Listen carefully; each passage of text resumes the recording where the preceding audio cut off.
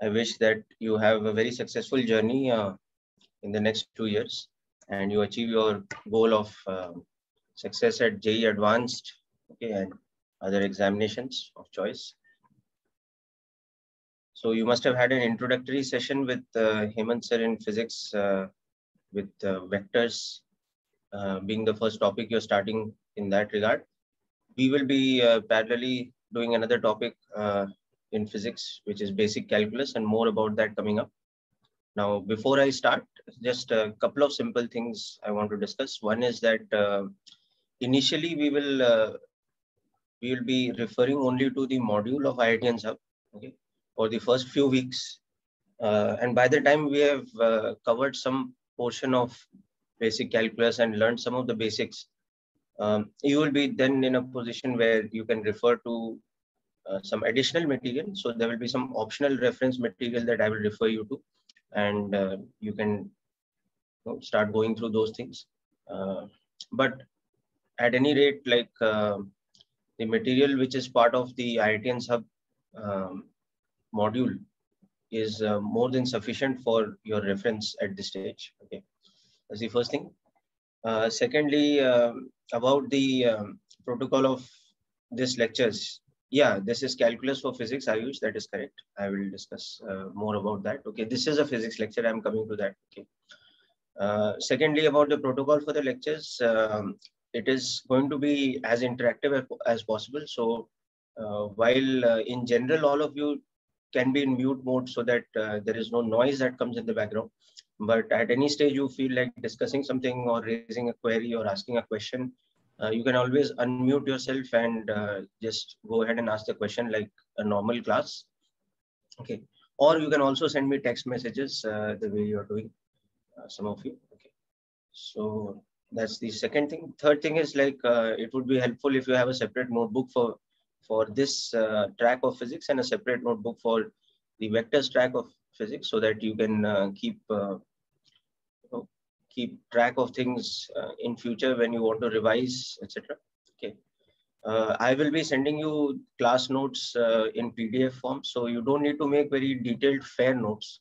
Okay. You should just have a notebook so that you're jotting down the important points uh, and more importantly, whatever numerical solving that we're doing, uh, you can go on, you know, trying those questions out yourself and even when I'm solving something on the board, you should do the mathematical steps very carefully so that you are clear about that uh, then and there. Okay. So that's about the notebook thing. So I think that's it. We have covered all the do's and don'ts. Let's begin with the physics now.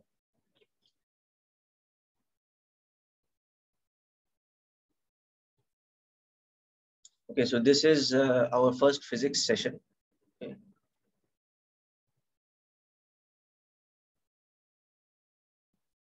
And uh, we are going to discuss a topic in physics called basic calculus.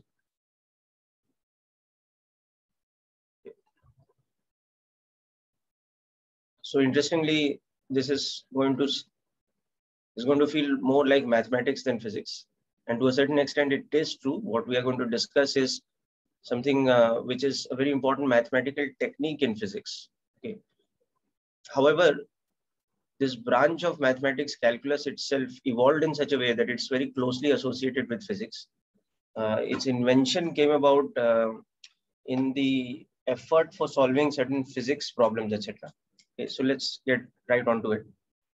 So, you know, we have that very important uh, event in physics uh, when sometimes in the sometime in the late 1600s, uh, Newton observed a falling apple, you know, so-called like that is how the legend or the story goes that he was sitting in his garden and he observed um, a falling apple and he realized that its speed increases as it's coming towards the ground. And from there he was able to discover or he was able to give rise to the theory of gravity itself. Okay.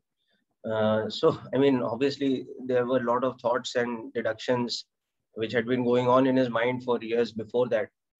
And that was just the eureka moment. It's not like you know it suddenly all came in a flash but anyhow, that's how the legend and the story goes. So the story about calculus also almost uh, starts from that point of time itself, because uh, Newton was the one who started uh, the whole concept of calculus uh, as he was solving, you know issues in physics related to motion and particularly uh, accelerated motion. We will understand that in just a bit. Uh, of course, you know, simultaneously there was also Leibniz in France who was um, developing uh, similar type of mathematics. And uh, again, as legend goes, that there was some communication between them in between, but uh, eventually there was also some fighting between them. There were some controversies between them about who is the proper inventor of calculus, etc. Anyhow, so Newton and Leibniz are credited with the uh, invention of calculus. And the purpose of the invention of calculus was mostly to solve, uh, initially to solve distance and time related or motion related problems in physics. But also it went on to achieve a lot of things in geometry, etc. Okay. So anyhow, uh, calculus in that sense is a branch of mathematics, but uh, it becomes very essential in physics, essential to understand physics just like vectors. So from this point onwards, physics is going to deal in the language of vectors and calculus, and hence uh, we start with this uh, portion of calculus. Okay, so one of the things which is very important uh, in calculus, which is a very central idea in calculus, is the concept of rate of change. Okay, and I'm sure many of you are familiar with. You might have heard the term differentiation or derivative or instantaneous rate of change, etc. But here I'm going to just start with you know some of the basic ideas. So rate of change is a concept which is very important in uh, in calculus. And the example that we took of, of object in free fall, that itself demonstrates the concept of rate of change very nicely. Okay. For example, if we look at the speed of an object in straight line motion, we look at the speed of this object with respect to time. So if we just visualize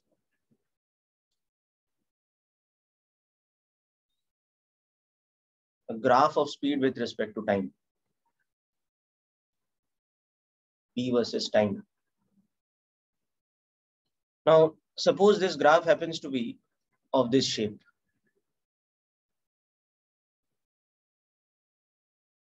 Okay. That means speed is what we call a linear function of time in this particular example.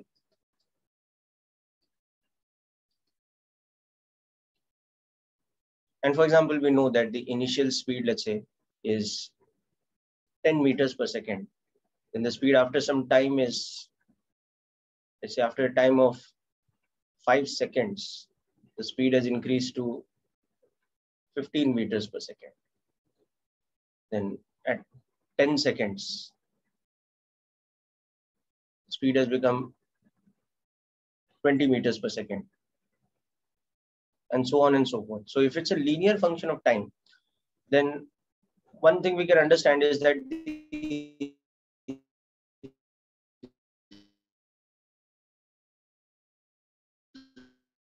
rate of change of speed would become acceleration.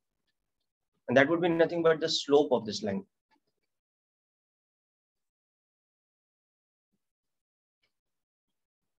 So when we talk about a linear graph or a straight line graph, the concept of slope is something very easy to understand. Why it is very easy to understand? Because whether I, so let me magnify this a little. Okay. So whether I'm looking at the rate of change between this point and this point, okay, or I'm looking at the rate of change between this point and this point, or I'm looking at the rate of change between this point and some other point like this, they would all be the same. Because the line has an equal inclination at all points. This theta is the same as this theta. Okay, that's a simple fact from geometry that you can understand. All these triangles that we're drawing here, they are right angled similar triangles. So they have all got the same angle. So you can see that the rate of change in this case would be how much? How much would be the acceleration or the rate of change? constant.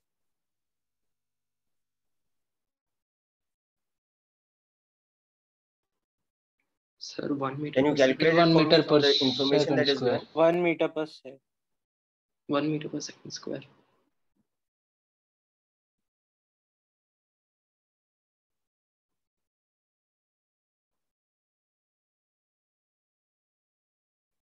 Yes, that's correct, Mansi. Anyone else? Yeah, Harleen, you were saying something, Beta?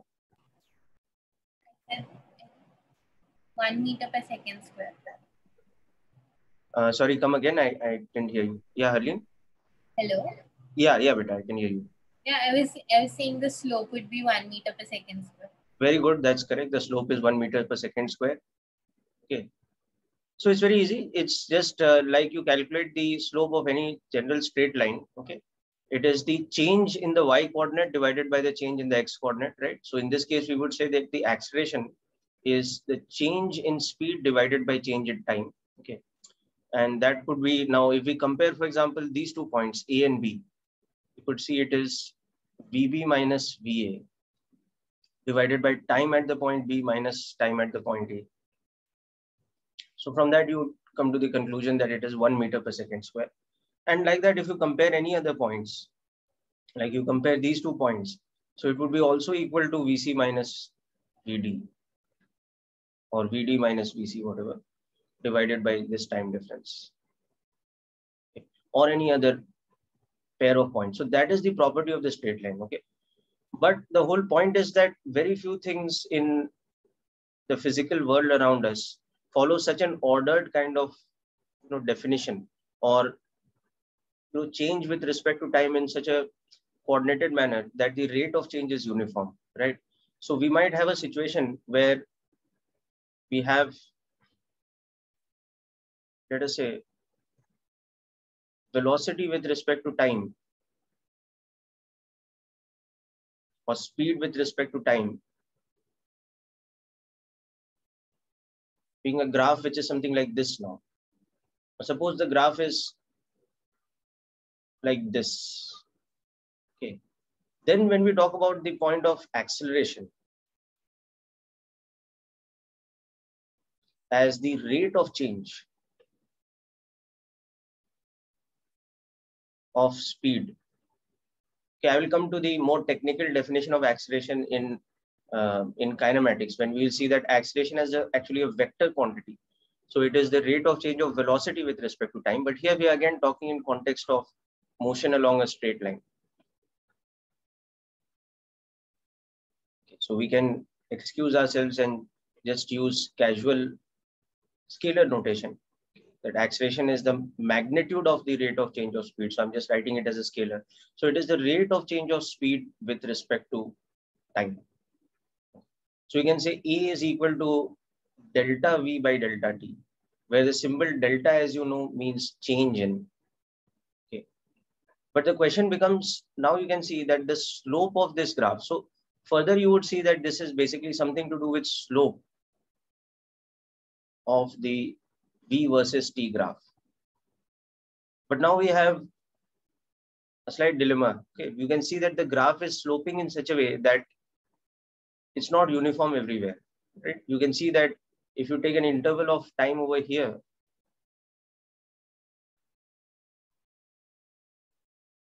in this much time, the velocity has increased by this much. But if we take a larger interval, uh, if we take an interval of time a little bit later, in the same interval of time, let's say, okay, the velocity is increased by a much larger amount. Because that is the nature of this curve. It's, it's, it has a variable slope and it has a variable slope in such a way that between the points A and B, its, its slope is less steep compared to it is between the points C and D. So then the question becomes that how do we define the acceleration at all? Because the rate of change of speed with respect to time is not constant at all. So this is one of the central ideas in calculus. Okay. And as we move along later today, we will see that now we will have to talk about two types of acceleration. We will have to talk about two types of rate of change. We'll have to see that there is a rate of change in context of average rate of change. And that will be between two instants of time. Okay. or we can say for an interval of time. That is delta t equal to some t2 minus t1. And then we will have a different definition, which is instantaneous rate of change. For example, if we are talking about acceleration in the graph above, it means what is the rate of change of velocity with respect to time, not between time t1 and t2, but at a particular instant of time. So this will be the rate of change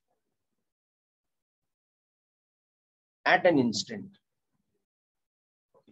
And this is the one which is going to be a little bit more abstract. And this is the one that calculus is going to deal with. Okay.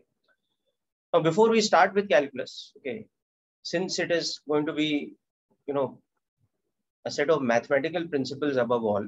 Okay, so let's discuss a little bit about maths. Okay, bear with me over here. And let's get back to you know, the, the general principle of calculus with that. So can anyone out of you tell me what is the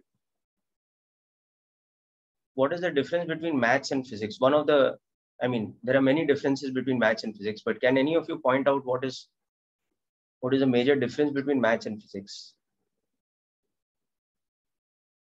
Like physics deals with the laws of like like moving objects or things, and math deals with basically numbers and all that sort physics deals with the uh, Dhruv, come again the laws of? Laws of like how things work around us like like. Right. But what kind of things can you tell me? Physics deals with what kind of situations? Sir it could be motion of a particle. Ah. It could be motion of a particle. That's sir, correct electric field magnetic field everything. Yeah uh, all That's, around us, sir. It describes how the nature functions, sir. How the nature functions, right? Uh, a little bit more specific, anything about nature, like what part of nature physics deals with? Sir, it only deals with how things happen, not why things happen. Uh, okay, I will. Sir? yes, yes, yes, Mansi.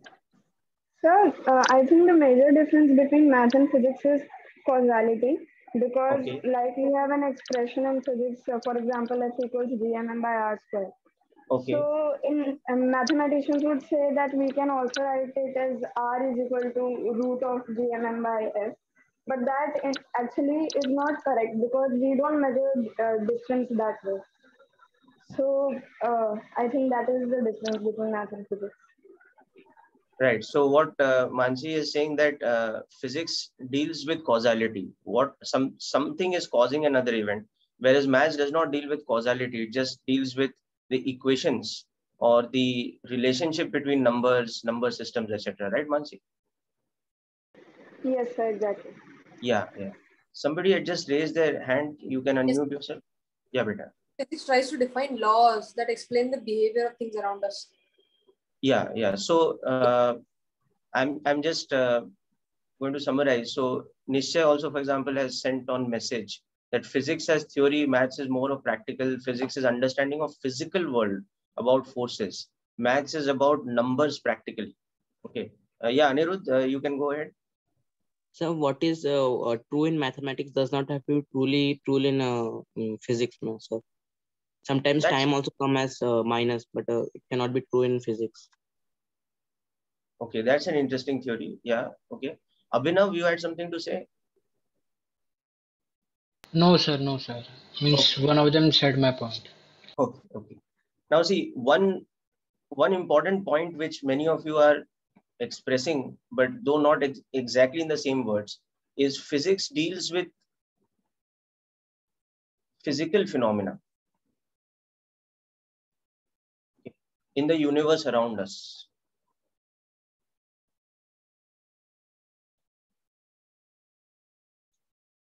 So what do we mean by physical phenomena?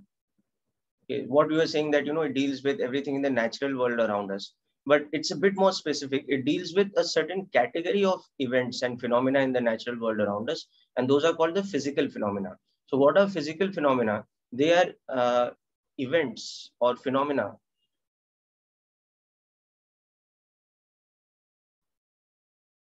such that or because of which physical quantities affect each other. Physical quantities affect each other. Okay. For example, the motion of a falling object is affected by the gravitational field of the planet in which it lies. Or if we are looking at the motion of a charged particle, like the electron in orbit around the nucleus, it is the charge of the nucleus, the electrostatic force. So yes, force becomes uh, one very important, uh, you can say, medium of how things affect each other, how physical quantities affect each other. And we all understand what physical quantities are. They are quantities that can be measured. So the moment we are talking about quantities that can be measured, okay, we are not talking about necessarily invented quantities. We are talking about things that exist in the physical world around us. So physics is born out of natural sciences, which is observation and deduction about the physical world around us, the natural world around us. Whereas mathematics is not that. Mathematics is an invention. It is complete imagination. Okay. Whether we talk about number systems in maths, or we talk about operations between number systems. Okay, we talk about theorems. We talk about equations and algebra. We talk about geometry, which is a visualization of those kind of relationships between numbers. Uh, maths deals mostly with invented situ situations or it is completely man-made or invented. Yeah, you can say that geometry does deal with things that we see in the physical world around us. So yes, there is a confluence in that sense between physics and maths. And also you can say that whatever we describe about the physical world around us in physics, we describe in the language of mathematics. So we attach some equations to it. We attach some algebra to it. We attach some operations between those type of numbers. So there is in that sense a confluence between them. And you can say physics speaks in the language of maths Okay, but if you look at the origin of maths and physics, physics evolved from natural science, which is trying to describe things that already exist in the world around us. They're not invented by us. It is our way of explaining, our way of trying to understand what is happening. Whereas maths deals with uh, pure imagination to begin with. Okay, the the invention of number system, the invention of uh, any operations between number systems, they they are all completely man-made. Okay, so to that extent, Okay. One of the important things that maths deals with is equations. For example, we have a very simple equation that if we take square root of 2, it is nearly 1.414, but it is an irrational number actually, right? It is a non-recurring, non-terminating decimal number.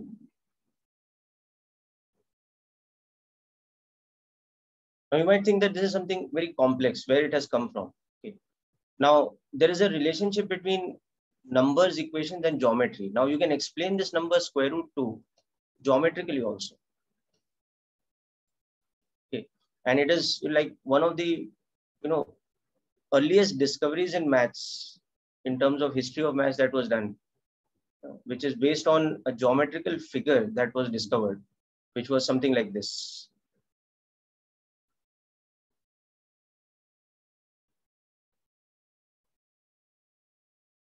This geometrical figure just describe what is the meaning of the term root 2.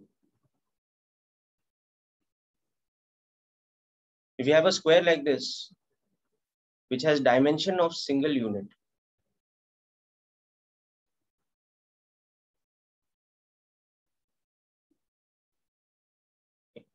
Now we know that the diagonal of this square is root 2 units. Now do you know what is the proof of this? That the diagonal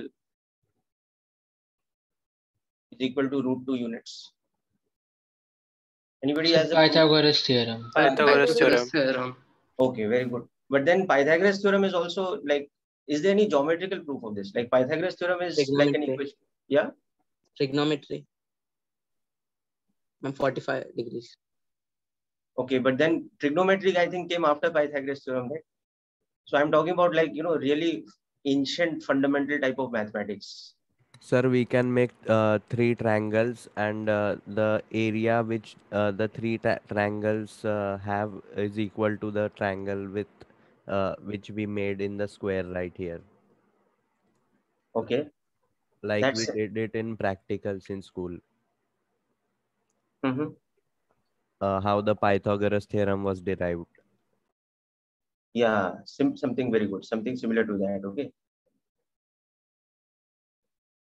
So I think what you're saying is uh, going to be something like this, right? I'll just demonstrate it. Sir Ayush. Yeah, Ayush. So instead of this figure, if I now make a figure like this, where I've joined these midpoints. And instead of my original square being of dimension 1, I made it of dimension 2. So now in the figure, you can see there are two squares, the inner square and the outer square. So if the outer square had dimension of 2, what is the area of the outer square? The area of the larger square is 2 into 2, is 4. Okay. Now, what should be the area of the inner square? Two. Yeah, it should be basically four minus, you can say if these areas, if these areas are equal to A1 each, it should be 4 minus 4 times A1. Correct? So, okay. Now, if these are all the midpoints, so these are all triangles of one by one. Okay, so each of these triangles are having area how much? Half square unit? Half. Okay, so this is four square units minus four times half square units. So that is becoming two square units. Now, whatever the length of this, whatever this length, this should be equal to L square. Yes, sir. So what this is showing us that L is equal to square root of 2. And it's very easy to prove that uh, it is very easy to prove that area of a triangle is half base into height. All we have to do is, you know, break a rectangle into two triangles, show that they are congruent. Okay. And from the basic idea that area of that rectangle is length into height or length into breadth, it's very easy to show that if you have this, this should be the case. Now you can distort this figure from a rectangle into a combination of rectangles, etc. If you have a non-right angle triangle, okay, and show that it is half base into height instead of half perpendicular into base, etc. So this this was like you know one of the very early proofs in maths uh, that you know if you draw two perpendicular lines of length L each, the hypotenuse that you will get will be root 2L. Even though root 2 is a very complex number in that sense, you know. Uh, anybody knows a proof of Pythagoras theorem?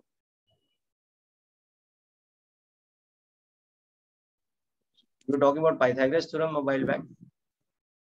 So by similarity, can we do that? Sir, yeah, three. there's a similar figure. Okay. Uh, now the point I'm trying to make is like you know in the evolution of maths, uh, we have Pythagoras theorem becomes something which is significantly more important because there is a generality to it.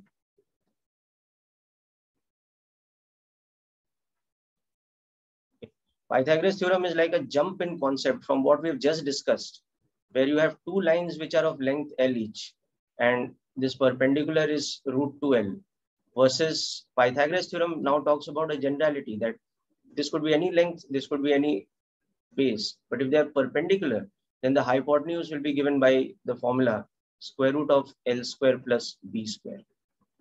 So this is a gen this is a generalization of this. This is specific this is more general. Okay. And from this, for example, that lot of geometry evolves. Okay, a lot of so the simple proof of this, the simplest proof that I have seen till date. Okay, you I mean there are so many different They're making triangles, sir. Yeah, yeah, by making triangles. Okay. So now if we make So if we just join any point over here with any point over here. So since this was a square, this was a square of dimension L by L. So now if we have taken this to be some A and this to be some B, then this will also be B and this will also be A because we can see that A plus B is equal to L. So now if we further just extend this in such a way that get this kind of a shape.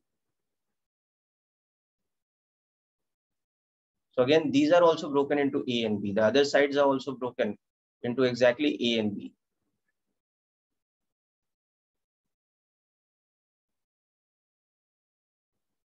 This is this figure can show us a very simple proof of sorry this this one is yeah this one is B again this one is A again. So this can now give us a very simple proof that if these are some C each,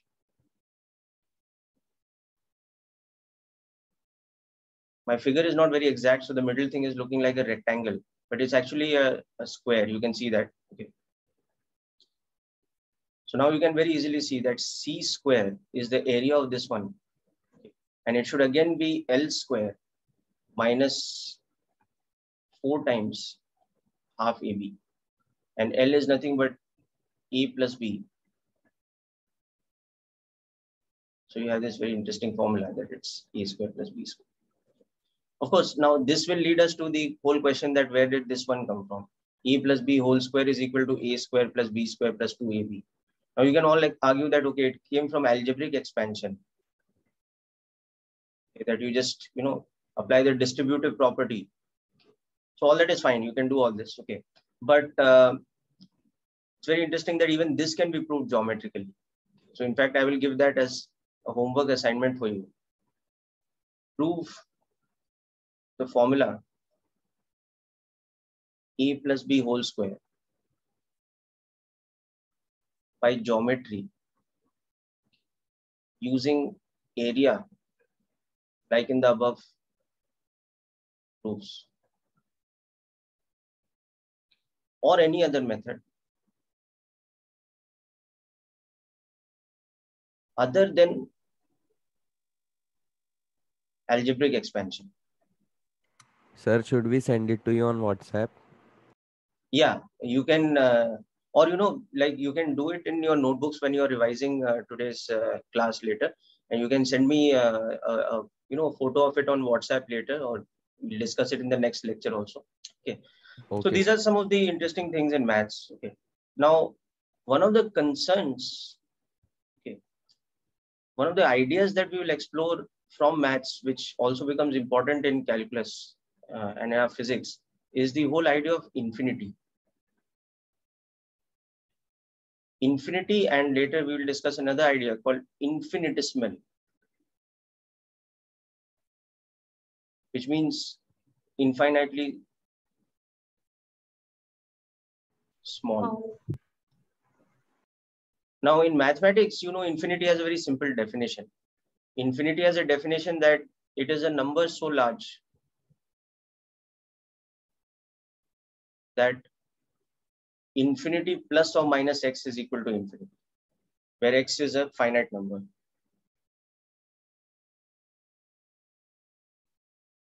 Okay, but the interesting thing about infinity is Okay, we can, for example, have an infinite sequence which has a finite value. An infinite sequence or an infinite series can have a finite value. And this is just an idea that I'm exposing to you to which will become important as we explore more about calculus.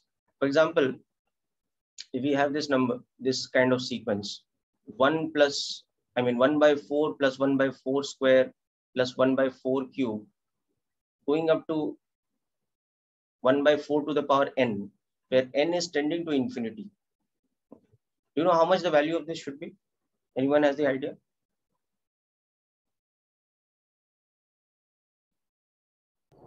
So not sure, but I guess one. Like it's somewhat related to Zeno's paradox, like what I've read. I'm not very sure about the answer. Uh, come again, you are thinking it's a paradox for? So I said it's a Zeno paradox. Like in Zeno, Zeno paradox, it is 1 by 2 plus 1 by 4 plus 1 by 8. So like it adds up to like uh, what? Yeah, 1. So, so, so Dhruv, does it have a value or does it not have? Actually, you're saying it has a value of 1.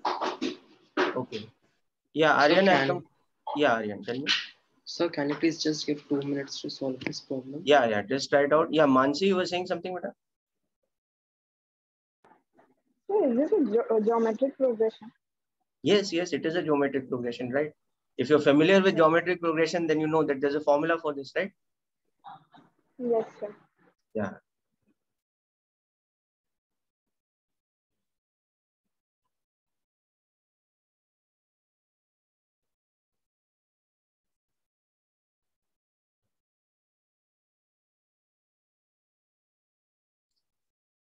So is it 3 by 16? Uh, no, beta, try again. Sir, 1 by 3. Yes, Ayush, very good. That's correct. Sir, it's yes. Aryan. Uh, sorry, uh, Aryan, my mistake. Uh, yes, Prabhas, your answer is correct. Piyush, your answer is correct. Yes, Ibrahim, you had something to say, beta? Uh, no, sir. Okay, Aditya, it's correct. Okay. Vedant, correct. So what is the method you people have used to find it out? Like you have used the formula of uh, geometric progression? No, sir. Hmm?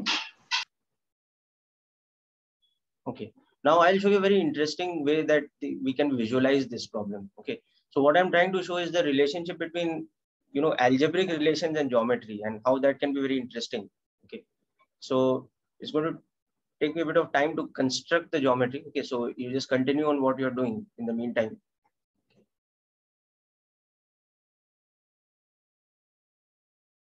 So hopefully that is a square.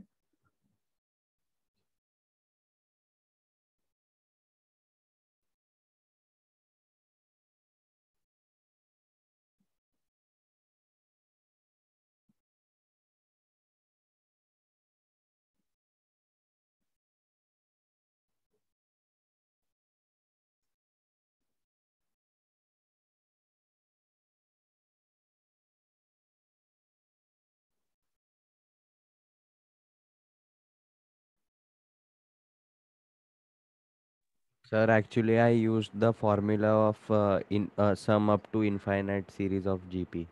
Of GP, no? Yeah, yeah. Yeah, I mean, that's very logical way of solving it. A by 1 minus R. Right. Uh,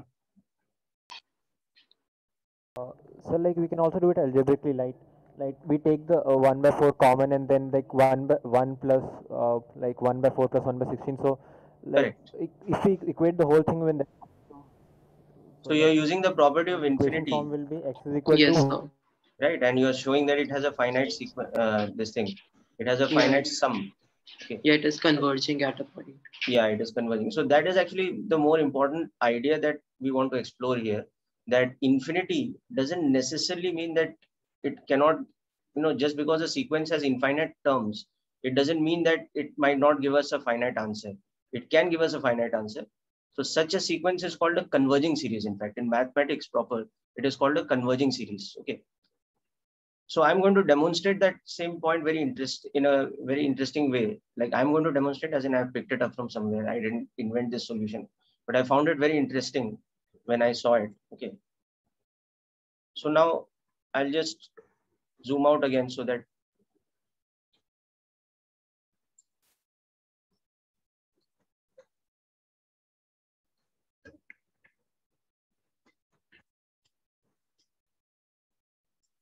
Yeah, so I'll just zoom out of this.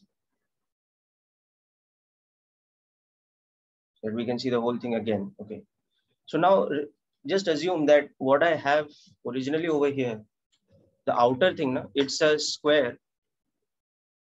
Yeah, so a lot of you have got the answer 1 by 3, which is correct. So this is a square of, again, one unit. Okay, by one unit. It might be one meter by one meter or whatever, one feet by one feet, etc. Okay. So now, what is the area of this box? This box, if I write it as A1, A1 is 1 by 4 square units. Yes, sir. Now, what is the area of this box? 1 by 16. Uh, A2 will be 1 by 16, correct? A3 will be 1 by 64. 1 by 64. And like that, if I go to the last one here, one after the other, like this. Okay. Now, can you visualize that the total area of all these put together is one third of the whole square's area? Is it making sense what I'm saying? If I have this infinite sequence, just imagine I have infinite number of these divisions. So can we say that the sum of A1 plus A2 plus this should be one third of the total area of the larger square? Sir, how? Okay, so let's let's understand that. Just visualize this. Is it looking like it's like you know just if you were to experiment like you know this is going in a sequence like this. Okay, now now let's think like this. Okay, this area is the same as this and this. Yes, sir. Right. Yes, sir. So if you consider this as a whole unit, this whole part as one unit. Okay, so this is one third of the whole unit. Yes, sir. Yes, sir. Now same here, this is A2 and A2. This is A3 and A3. This is A4 and A4. So for every one box I have of red color, I have two other boxes which are not shaded and they are of the same area each. And this sequence goes on forever. Okay. So isn't it an interesting way of exploring the same formula, right? Yes, sir. yes, sir. okay. So, so this is like a very interesting idea of how we can have a sequence of infinite terms, but that sequence gives us a finite answer. And this is going to like, it's just, it's not just something, you know, to make the class interesting. Although I hope that it is making it interesting, it is going to relate to what we are going to do in calculus uh, in, in some time itself. Okay, so uh, it's, it's just to plant that thought in your mind that, you know, we can have a sequence of infinite terms, but that can give us a finite answer. Okay. Uh, so that is the geometrical way of dealing with it. Another way of dealing with it, I'll just give you a hint, okay, which you can try later as homework, is that if you have any series like this,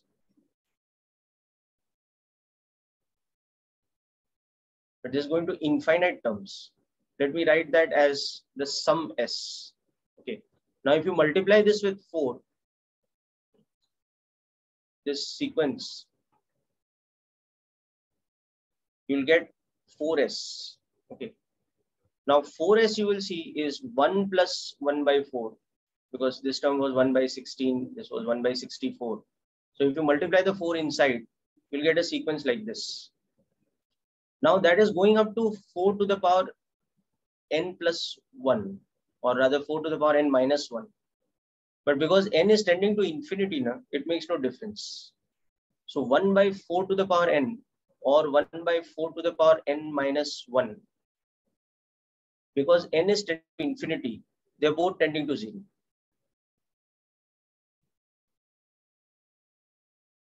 Also tends to 0, as n tends to infinity. So that so now you can relate this first equation with the second equation. So I'm, I'm not going to complete this solution for you people, okay? But it's like a proof of the you know formula of geometric progression. If you have seen geometric progression in maths if you haven't seen it doesn't matter. It's not actually part of your class 10th okay? So you can use equations 1 and 2 above. Algebraically prove that summation of 1 by 4 to the power i i going from 1 to n, n tending to infinity, should be equal to 1 by 3. So this infinite sequence should give us a very finite answer. Okay, so that's that was the other idea. Okay.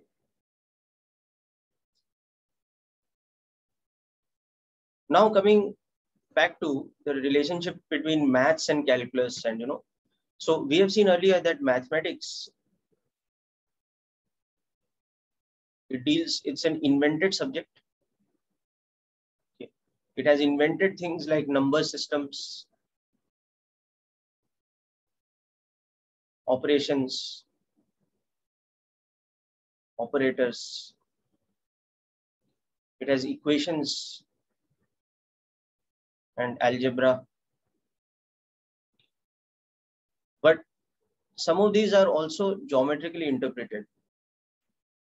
So there is geometry itself and there's also geometrical interpretation.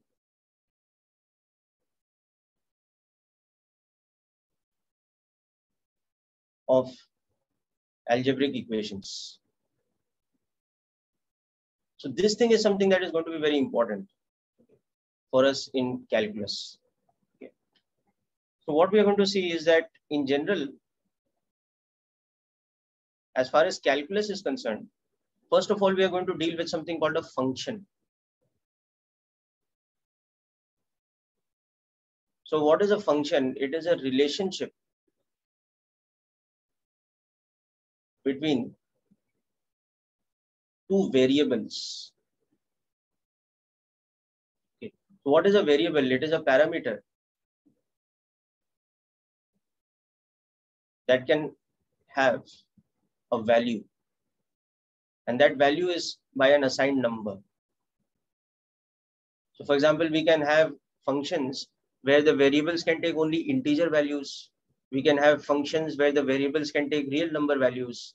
We can have functions where the variables can take only natural number values, etc., etc. Okay, but the function is such an operator or such a relationship that it defines an algebraic equation or it defines a rule by which one variable is connected to another variable. Okay, so we represent a function by this kind of a symbol.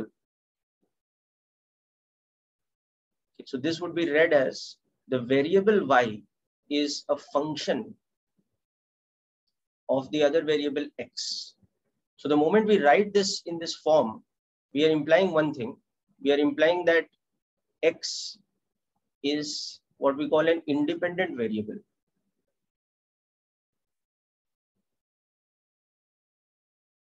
So what we mean by independent variable means that the value of x, and obviously the value will be given by a number. Okay. So the value of x is independent or you can say can is independently chosen. Okay, but once we choose a value of x, this function f, it is some kind of rule, okay, or some kind of relationship that defines the value of y in terms of the value of x. Okay. So y becomes what we call a dependent variable.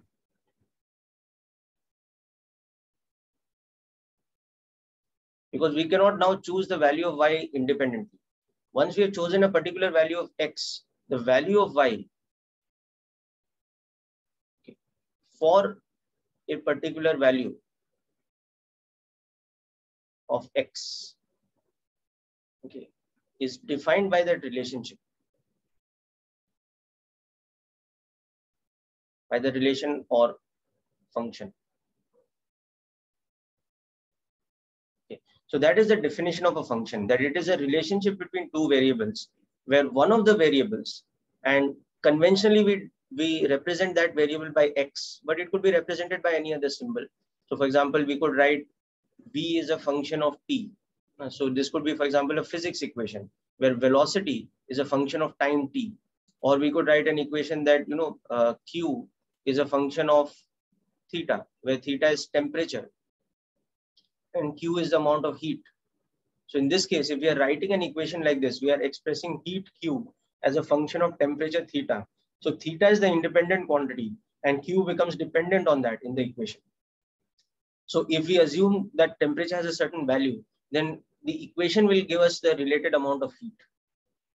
Or if we are calculating the velocity at a particular instant of time, So if we fix the value of time to a particular value, like one second or five seconds or three hours and 50 minutes or whatever, then the velocity has a dependent value, which is defined by this rule.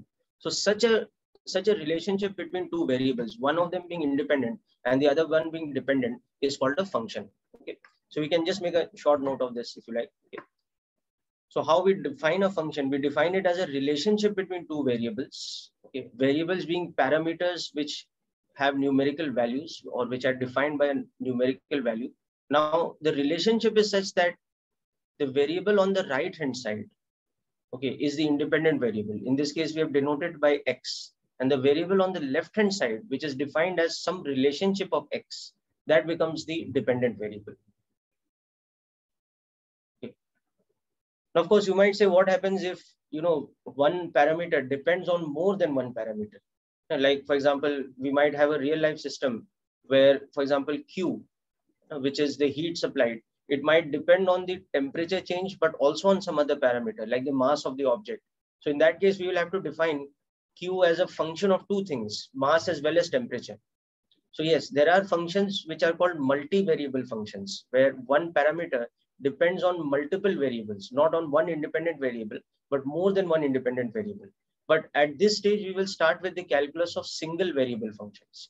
So in this sense, when I'm saying that it is a relationship between two variables. That means I'm talking about single variable functions.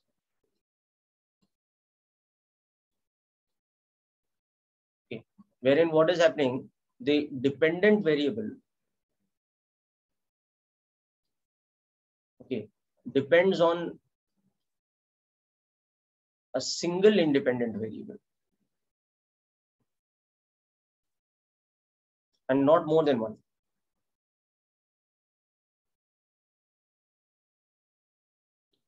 Of course, it is also possible to have multivariable functions. Okay.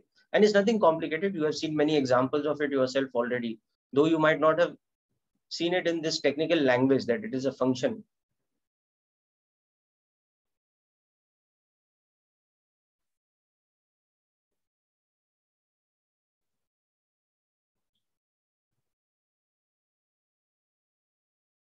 Okay.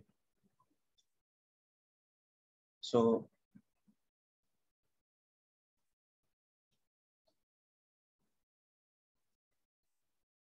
there are also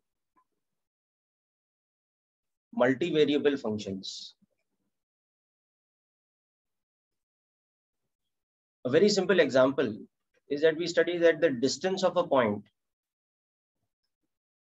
from the origin in a two-dimensional plane depends on two things. Right? It depends on its x coordinate and its y coordinate. So if I'm taking different points, point A, point B, point C, you can see x and y are independent variables. Because the independent values of x and y determine where this point is. But this distance r becomes dependent on that. So x and y, they are independent variables. Okay. And their values determine the position of a point.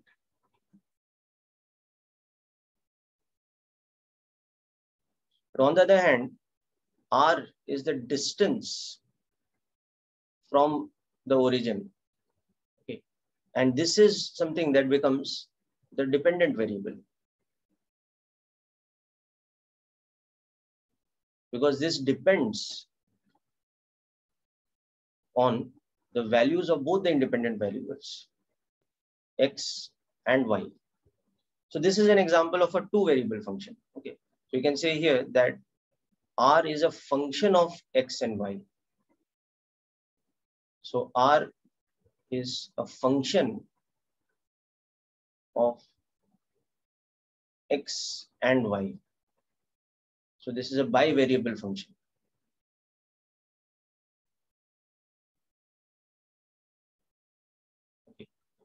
So obviously multivariable functions are more complex. Okay. So in basic calculus, we'll be dealing only with single variable functions.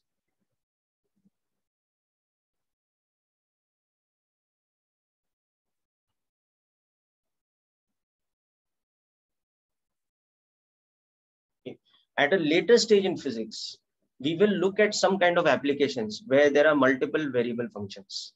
For example, when we come to the chapter of work energy theorem, we will see that there might be a system where potential energy of a system depends on two or three coordinates. It depends on xy coordinate or xyz coordinate. Okay. Uh, we will see in electrostatics later in class 12 that the electric field at a particular point might depend on the three-dimensional spatial coordinates xyz. Okay. Or we can have a situation where the field is varying with time as well as position. Okay. So we will indirectly look at multivariable functions at a later stage, but uh, in our dealing with calculus, and in fact, when you study calculus in maths also, because let me tell you, calculus is going to be a major portion of your math syllabus in 10 plus 2 also. And some of the fundamentals of that maths portion we are going to cover now itself in physics. But even in your maths portion, you don't have multivariable functions. You will be studying the calculus only of single variable functions.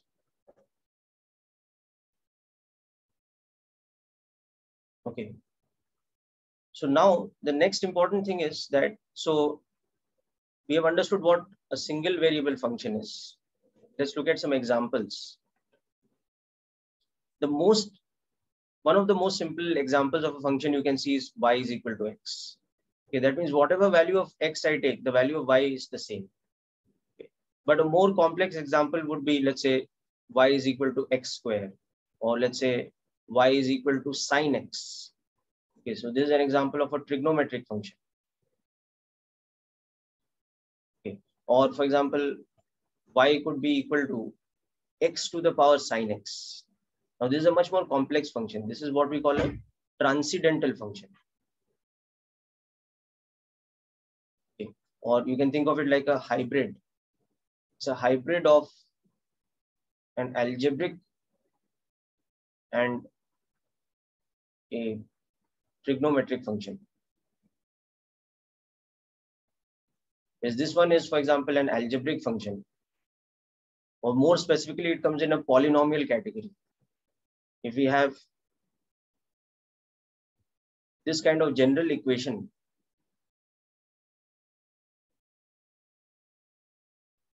where these are all constants, then this is called a polynomial function.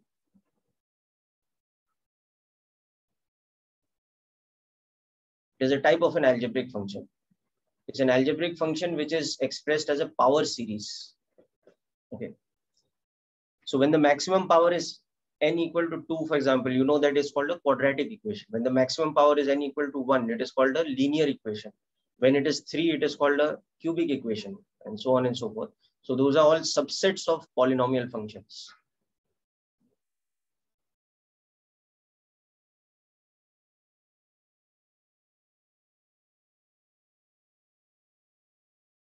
But remember all algebraic functions plus one. This is an example of an algebraic function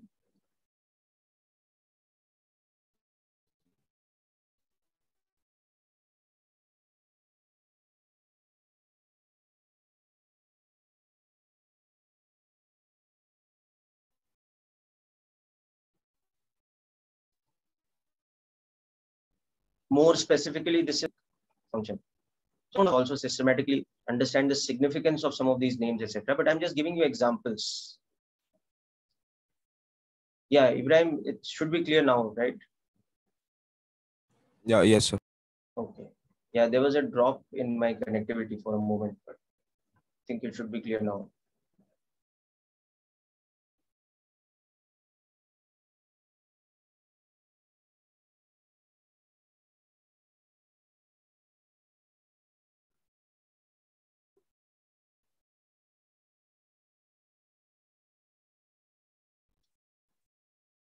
Okay, so you need not make a very detailed note of all this. It is just uh, you know, some basic names that I'm giving you. Now something bit more specific, okay. One very important point about functions.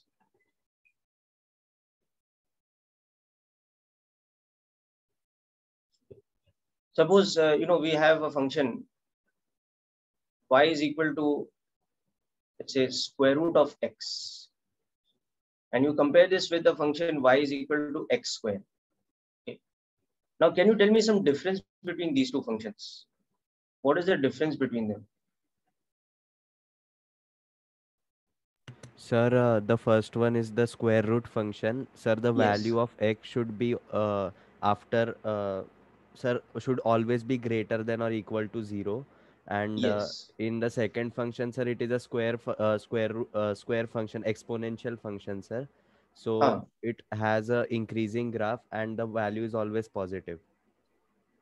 Yes, the value of y is always positive, right? In the second Yes, one. Hmm? But what we can say about x in the second one? Is there any restriction on x? No, sir. We can take negative values of x also, no? Yes, sir. Okay. So yeah, so that is the thing. No? So so you know there's a hidden point that I'm trying, and of course the second point you made is also correct. Y is always non-negative in the second one, same in the first one also. It is non-negative. In case you think y can be negative in the first one, it is not true. I will again reiterate that point. But let's first concentrate on the independent variable, on the independent variable x in this function, and on the independent variable x in the other function. Now earlier I said that x's value can always be taken independent of any other consideration. So in that, that sense, if you see na, yahan pe, there's a bit of contradiction of that na, because there is some restriction on the value of x because x cannot be negative because square root of a negative number is not defined. Of course, some of you might say that yes, square root of a negative number is a complex number. It's a uh, it's an imaginary number. But here I'm talking about the domain of real numbers only. Okay, because in physics we mostly deal with uh, you know parameters which have real values or real mathematical values because they are physical quantities. Okay, so let's not go into complex numbers. Okay, but the whole point is see x is still an independent variable. Why? Because the way I'm expressing the equation, when I take the value of x, I should not consider what y is. Okay, I should just consider that x's value can be chosen randomly from what is called a domain set. Okay, so x's value does not depend on any consideration on y. Whereas the moment I've selected an appropriate value of x, the value of y becomes fixed according to that. So that is the difference between saying that x is an independent variable, whereas y is a dependent variable. In both cases, x is still an independent variable, but in, in the case of the left-hand side, root x, x's values can be chosen from a smaller subset of all real numbers because that is the nature of the operation. It's a square root operation. So here, x belongs to the set of 0 to plus infinity. Okay. Or you can say x is greater than equal to 0, but less than e infinity. Okay. Whereas here, there is no such restriction. Here, x belongs to the set of minus infinity to plus infinity. Or you can say x can take any value from minus infinity to plus infinity. Sir, all real So when we write, huh, all real numbers. Okay. So that is one difference that you can see over here.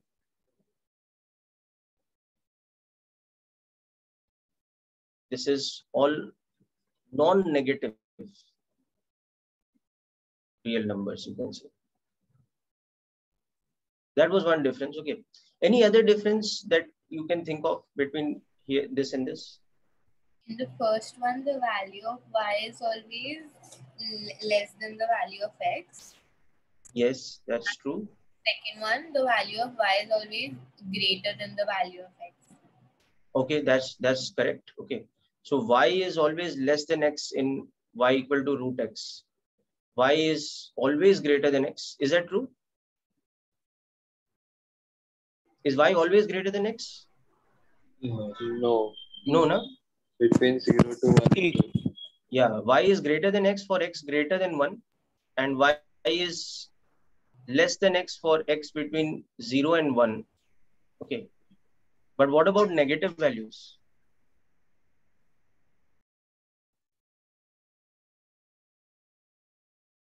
The second one, y will always be greater than x for negative values. Yes. Because y is a positive number. Okay, whereas x is in that case a negative number. Okay, so it's a bit more complex. Okay, right. So that's also one difference. Okay, but one more important point I'm looking for. Okay, can you visualize the graph of these two functions? I have not yet defined what is a graph, but I'm sure all of you are familiar that any relationship between x and y you can always represent on the two-dimensional xy plane by drawing a set of ordered, uh, uh, you know, a set of ordered pairs. If we draw them, can you see there is some difference in the nature of the two graphs? Okay, let me give you a hint. In Sir, this uh, if one, if Yeah, yeah, tell me. Sir, uh, if uh, the value of a is between 0 and 1, uh, x Hmm. uh, in this case for the uh, uh, exponential function, then Ah, the graph one. would be decreasing. Sir, for the exponential function x square 1. If the value of x is between 0 and 1, then. And Hmm. if, it, if it is greater, than the uh, graph would be increasing. And for square root function, sir, it would be decreasing like a curve going downward. Okay, so I think what you mean to say is the slope. Na? The graph anyway is always increasing Yes, sir. because the value of y increases as x increases. Na? So for, example, if you look at the square function between 0 and 1 also, it's like this. Na? When I increase the value of x, the value of y increases. Yes, right? sir.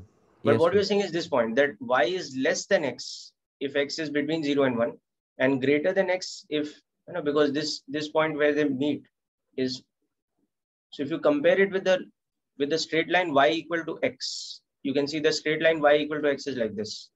So in this part of the domain between 0 and 1 you can see that this lies below that straight line. So the value of y is less than the value of x whereas here it lies above okay? But also you can see that when you look at the negative part of the domain the function is decreasing. As your x is increasing what is happening to the value of y? It is decreasing. Hmm, at x equal to minus 1 the value of y is 1 but at x equal to minus 0.5 the value of y has actually decreased to 0.25 right Yes, sir. but you know one point i want to make here is that in this case if x is equal to for example plus 2 what is the value of y it's 4 Yes, sir. if x is minus 2 the value of y is 4 again so the values of y repeat okay whereas are they going to repeat here No, sir. No, sir. Here if you see later we'll understand how this graph comes about. It's this sort of a graph. Yeah it's a parabola okay. Actually both are parabolas but it depends on depends on the uh, axis Sir, of the parabola the and all that downward okay. parabola. uh, so so here you can see that every value of x every value of y corresponds to a unique value of x so this is what we call a one-one relation between x and y. A single value of x always gives you a single value of y. But this is an example of what we call a many-one relation. Sir, are That you is- referring to the Cartesian product? Uh, I'm referring to a relation in, in context of set theory, you know, in terms of sets. Now, if, if I take the values of x and if I take the values of y, here it is a one-one mapping. Okay, but here it is a many-one mapping. More than one value of x is referring to the same value of y.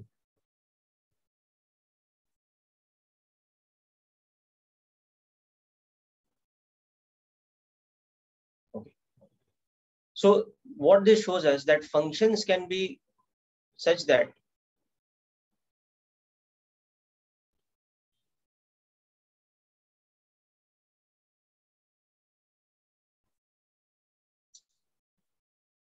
they are one one or many one relation.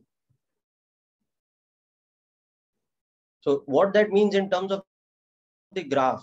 Now, of course, we'll come more technically to the graph. What that means in terms of the graph is that the functions graph can be such that when we draw a horizontal line like this, it might show that the same value of y, like y1, is repeated for more than one value of x, like x1 and x2. So this is an example of a many one relation. Okay. But on the other hand, we could also have a graph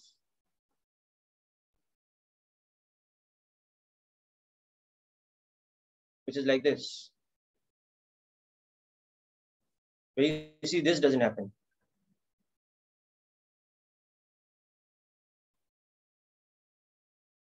So this is a one-one relation. Okay.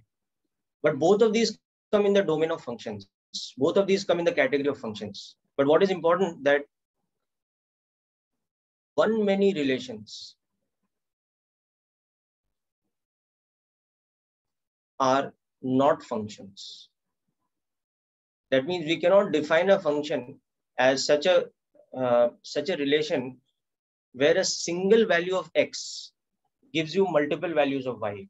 In other words, a single value of the independent variable must give us a unique value of the dependent variable. Okay, so that is a rule in the definition of function. There are many one many relations. There's no problem with the relation being one many. Okay, so for example, if we have y square is equal to x square, okay, this is a relation. Okay, but y is not a function of x. Why it is not a function of x? Because in this relation, a particular value of x does not give a unique value of y.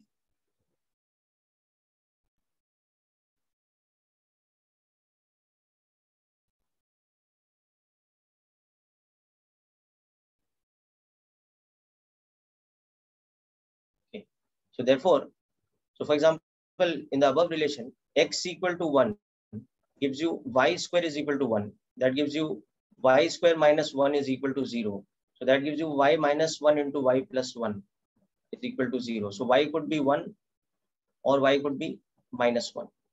So therefore, this is not a function. This is not a function because a function is defined as that type of relationship where a single value of independent variable must give you a unique value of the dependent variable. So that is one of the rules in the definition of a function. For a function, any value of x must give a unique value of y. Now, if you think in terms of physics, why we have made this rule for a function, it would make sense, you know, because in physics we are relating uh, physical quantities which depend on each other through functions. So, for example, if we are saying that um, you know velocity is a function of time or force is a function of time. Now we can't say that at a particular instant of time there are two values of forces. Okay. Now you might say, yeah, that happens in the quantum mechanical world, that the position of a particle has a certain probability at a certain point, but you know, it might exist at two positions at the same point of time. But that is more abstract in the world of quantum mechanics. Okay. When we are talking about the more regular branches of physics like Newtonian mechanics, classical mechanics, heat and thermodynamics, electricity, magnetism, etc. Uh, when, when something is changing with time at a particular value of time, it should have a unique value. It cannot have more than one value. Yeah, Nishya, you were saying something? So, but y is having different values? Uh, uh, y is having same value for different values of x. So it is not entirely a unique value, right? Because for no, different that's a values, different thing.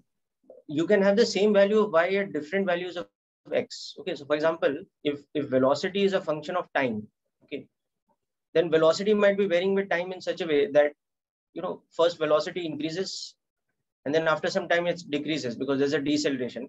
So it had a particular value of velocity initially when it was accelerating, then it accelerated to a larger value and then it decreased and came back to that value. So that's fine, no? You understanding the point, no? yes, sir. And the same value of y is repeating for two values of x. That's fine. That's no problem. But can you have a situation like this? Now think of this graph as an actual physical example. Suppose this is position versus time or displacement versus time. Okay. Now is something like this possible? That at the same instant of time, the same particle has a displacement of position of S1 also and a position of S2 also. No, sir. So that, that is why logically what we do now, we exclude this kind of thing as functions. Here we will say that S is not a function of time because S does not have a unique value for a particular value of time. But here in this graph, according to the, this graph, we can say yes, V is a function of time because for every value of time, there is a unique value of V. There's no problem that V repeats at two different times. But at a given time, there is no option. There is a, only a particular value of V that it can have at that time. So that comes in the domain of functions. This does not come in the domain of functions. Okay, now, beta, this is clear, I hope, Nishay? Yes, sir. Okay, very good.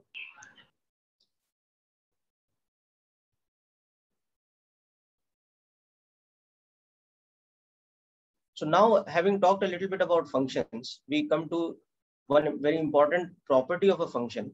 Okay. Achha, before that, graph of a function. What is the graph of a function? You can say it is a simple geometrical representation of a function.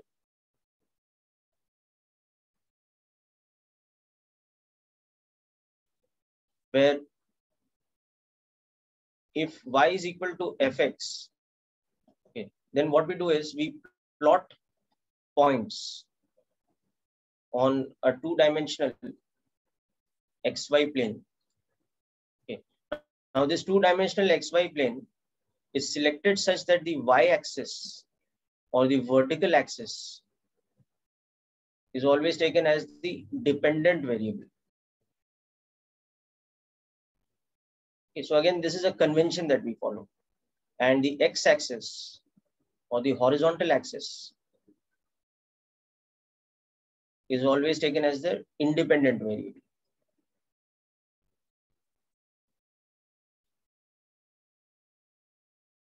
And what we do is we plot points on this two-dimensional plane as ordered pairs. So for example, we take x1.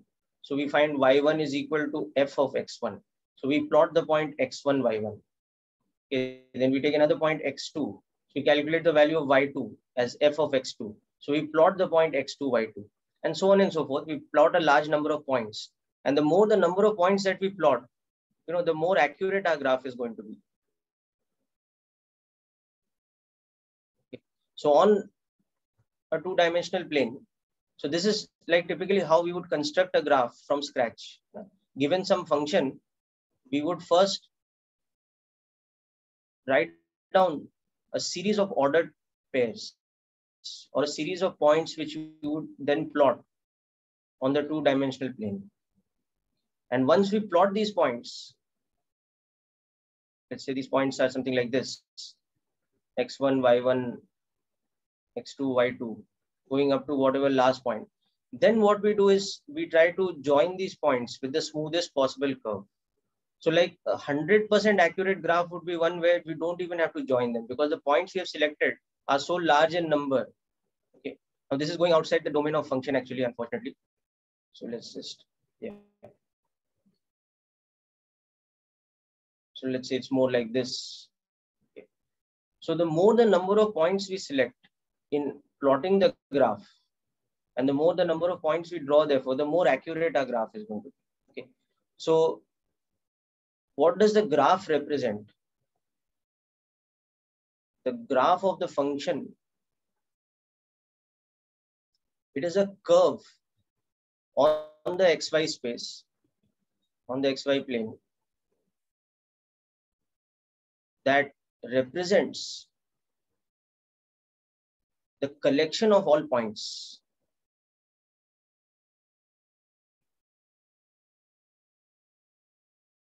Which satisfy the given relation sir आपने लिखा है graph of no function मतलब of the function. अच्छा What is the graph of the function? Okay. So the graph of the function, what it represents, it represents this curve. This curve that we have drawn, that only represents the graph of the function. So what is happening? Every point on that curve satisfies the relation of the function. So it is a collection, it represents a collection of all points in the xy plane that satisfy the relation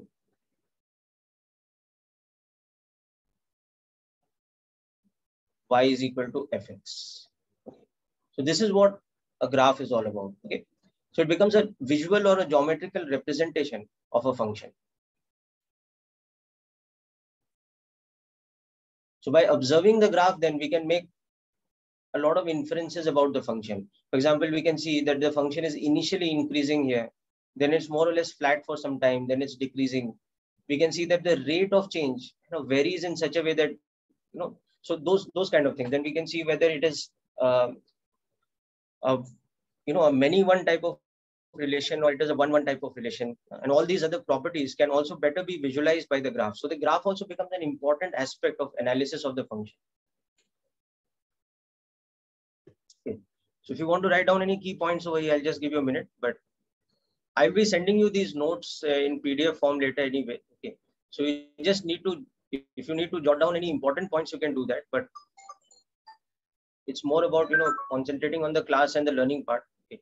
the notes you can make fair later also it's fine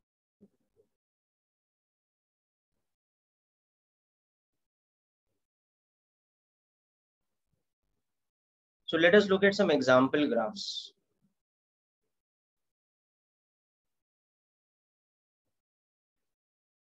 common examples of functions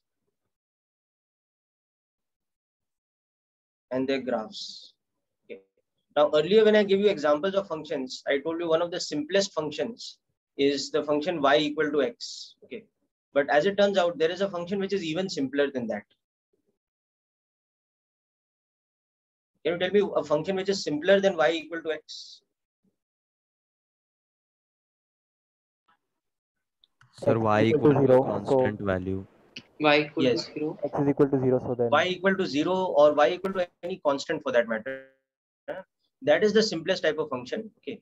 Uh, so we give that a specific name and that is called the constant function. Now the constant function you can say is not a function at all because y is not dependent on x. Y just has a fixed value. Yes Nisha, you were saying something Sir, if we are given two numbers x and y and y square is equal to x square, then we can we cannot plot that function on graph, right? Because it it is not technically a function. Uh, we can plot on the graph. See, y square is equal to x square. For a given value of x, what will happen? y will either be plus of root of x square, correct? Or y will be minus of root of x square so that means y will be mod x or y will be minus of mod x. Yes, sir. Yes, sir. Okay, so now what is happening? You can see that this in itself is a graph and this in itself is another graph. You understanding? y is equal to mod x is what type of graph? y is equal to mod x is this sort of graph that it's y equal to x when x is positive and it's y equal to minus x when x is negative. So these two graphs together represent y equal to mod x. Okay. Whereas y is equal to minus of mod x. This, so here when x is positive, it is represented by y is equal to minus x. And when x is negative, it is represented again by minus y is equal to minus x. Okay. So now the collection of these two, I mean the collection of these four together, this becomes the graph of the relation y square is equal to x square. Okay, so now on this you put any value of x, it will give you the corresponding values of y. For example, you put x equal to plus 2. You will see that the value of y can be plus 2 or the value of y can be minus 2. Okay. You put the value of x as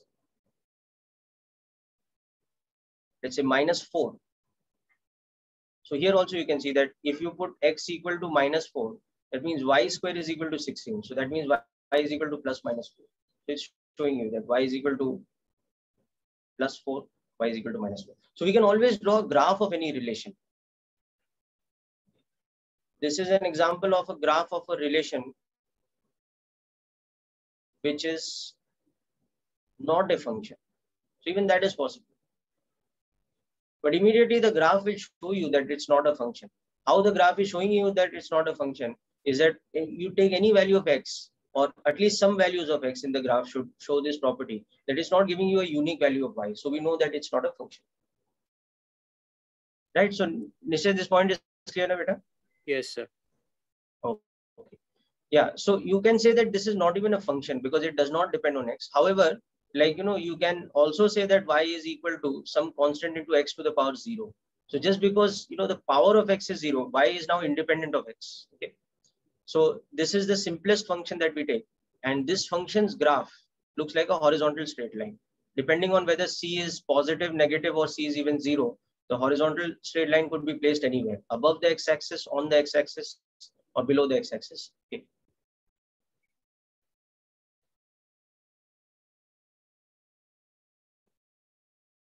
So this is the, you can say, this is the trivial function, and the function that you don't even need to describe. So it's that, that simple. Now the next simplest category of function, I had told you y equal to x, but we'll take it as a whole category of functions or a family of functions. Those are called linear functions.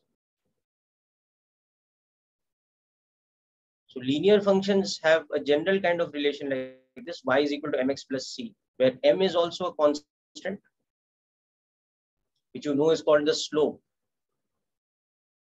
And c is also a constant, which you know is called the y-intercept. And as you know, the graph of these functions are straight lines. So there can be various types of straight lines. They can be straight lines with positive slope and positive y-intercept.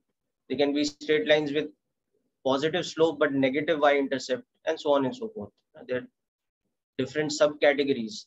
And you can even say that the constant function is a special case of the straight line function or the linear function where m's value is zero. So you can also describe constant function as a special linear function where the value of the slope is zero.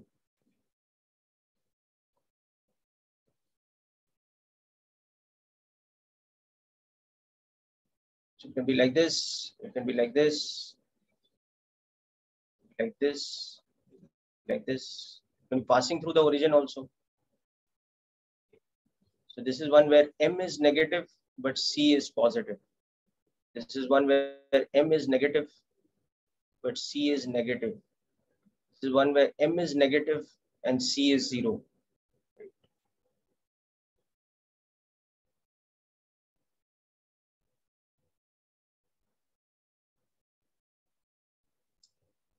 Now the linear function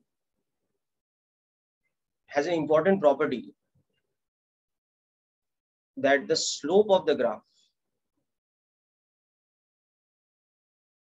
that is delta y by delta x is constant and equal to m.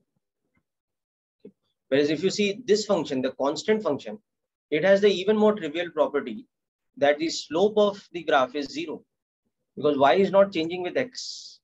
Okay, so horizontal line has a zero slope. So that's another important property that these two graphs have. The slope is zero.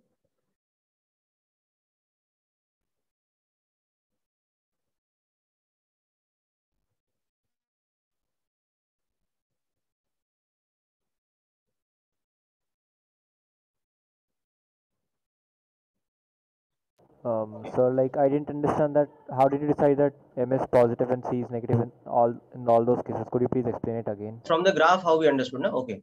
So uh, in in coordinate geometry, what is the slope? Okay, the slope of a straight line is nothing but tan theta for it. No, it is equal to y2 minus y1 upon x2 minus x1. Okay. So slope of a linear function or what then becomes a straight line graph. Let's understand this.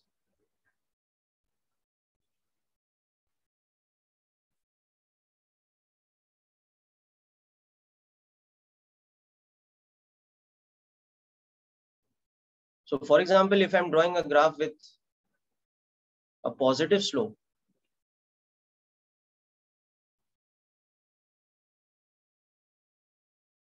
So let's say going to look like this. Okay. Now, if this angle is theta, now you select any two points on the graph, x1, y1, x2, y2. So if the equation of the straight line is y is equal to mx plus c, then y2 should be equal to m times x2 plus c. y1 should be equal to m times x1 plus c. And suppose I've selected these points such that x2 is greater than x1 they could be negative, they could be positive, but basically x2 is a larger number than x1. Then subtracting these two equations, will tell me that y2 minus y1 is equal to m times x2 minus x1. So in other words, the constant m is nothing but y2 minus y1 upon x2 minus x1. So now you can see from this that if m is positive, okay, that means y2 minus y1 will also be positive. Because I've already taken that x2 minus x1 is positive. This I've already taken the condition that x2 and x1 are points such that x2 minus x1 is positive. So this is the meaning of saying that it has a positive slope. That you can see that when x is increasing, correspondingly the value of y is also increasing. This is your y2 minus y1. This is our x2 minus x1.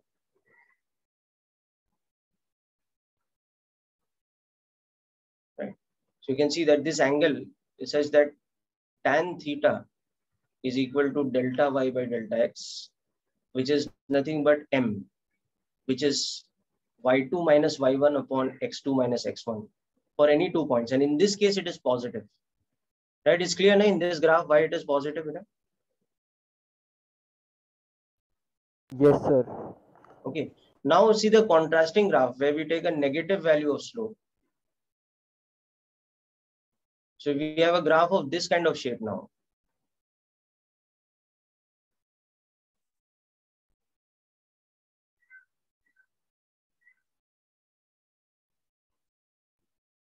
Now in this graph, if I select two points x1, y1 and x2, y2,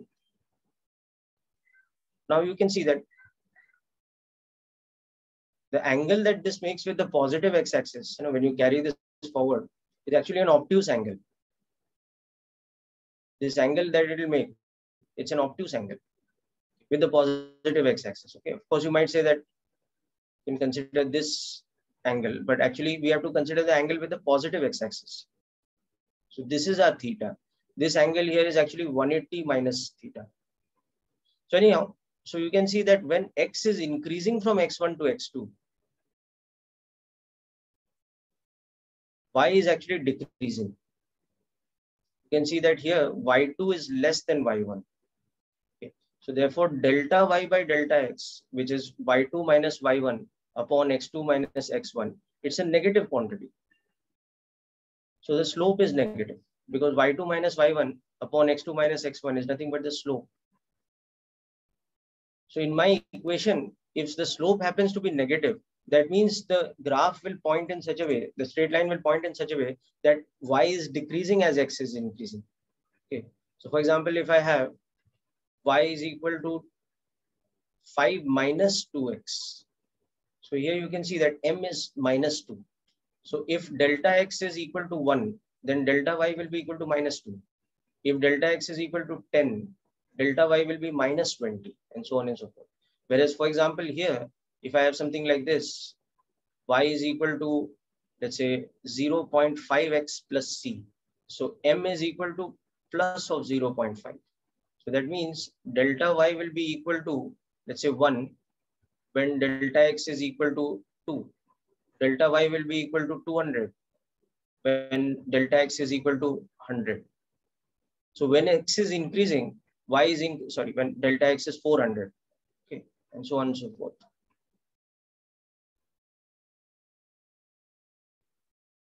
So difference between positive slope and negative slope i hope is clear? Yes sir. Okay. So anyhow this was again trivial example because straight line is something that you're all well versed with. Now we start coming to the more interesting examples of functions. So the first so, so the next category of functions that we look at is quadratic functions. Okay. And we will look at quadratic functions in a lot of detail. In, but we will start with the most basic quadratic equation today, which is the simple parabola of y is equal to x squared. So here a, b, and c are constants.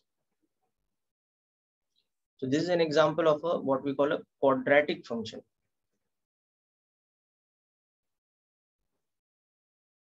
For example, we could have y is equal to x squared plus 2, or we could have y is equal to 3x squared plus 4x plus 1. What so that okay. will be bx, right?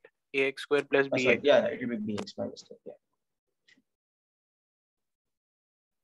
Because then I mean, if I had written a x square plus bx square, that means actually the coefficient of x was a plus b, no? but we want it to be a. So it's like this, okay. So the, the simplest example of this we will take is y is equal to x square, and we will look at the graph of this function. So if we want to draw the graph of this function, we have to take ordered pairs. For example, x is equal to 0 corresponds to y being 0. But x equal to either plus or minus of 0.5 corresponds to y being 0.25. Okay. x being plus or minus of 1 corresponds to y being equal to 1. X being plus minus 2 corresponds to y being 4. So it has this very interesting nature, which we have discussed about earlier also, that it has a slope which is not constant. Okay, the shape of the graph is such that the slope is increasing as you go from zero to infinity, or the slope is decreasing as you go from minus infinity to zero.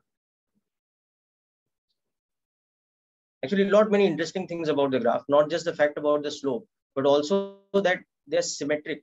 For example, if we plot this point, 0 comma 0 it's here okay? If we plot the point for example 0.5 comma 0.25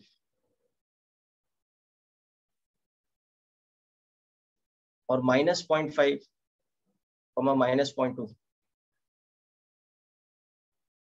or if we plot the point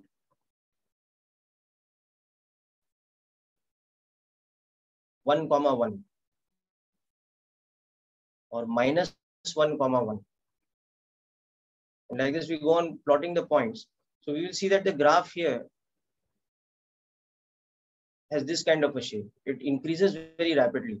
And this side of the graph is just like a mirror image of it. In fact, here it has to be a smooth curve. So it has to be something like this. Okay. So this kind of shape, it is called a parabola. Okay, the name given to it geometrically is a parabola or parabolic curve. Okay.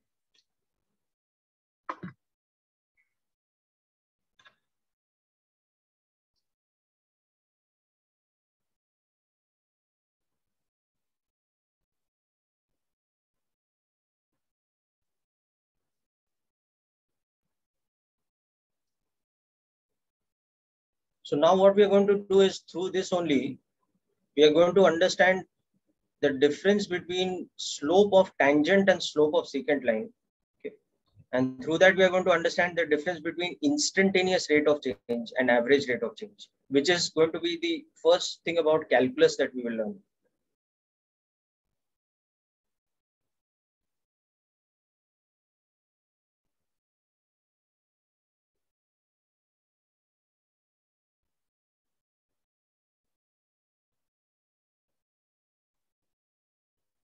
So I had a question that like how exactly do we find like slope of like these parabolas, like how to visualize them? Exactly. That is the point that we are coming to. That that is the point of interest over here. Okay. So next, let us talk about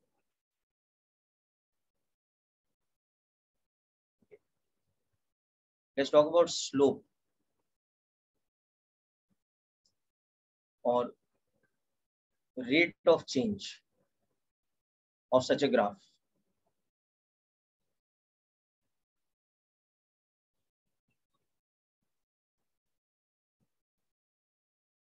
So in general, what we will say is that for any function, y is equal to fx, okay, which has in general got a graph like this. So suppose I'm taking some arbitrary shape of the graph like this. Now, one is that, okay, we can say that between the points x1 and x2. Okay, so if I've defined one point x1 over here and another point x2 over here. So as far as slope or rate of change is concerned,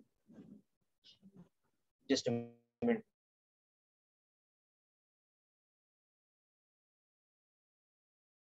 So yeah, coming back. So one is that as far as rate of change or geometrically what we call slope of the graph is concerned, we can define something called average rate of change.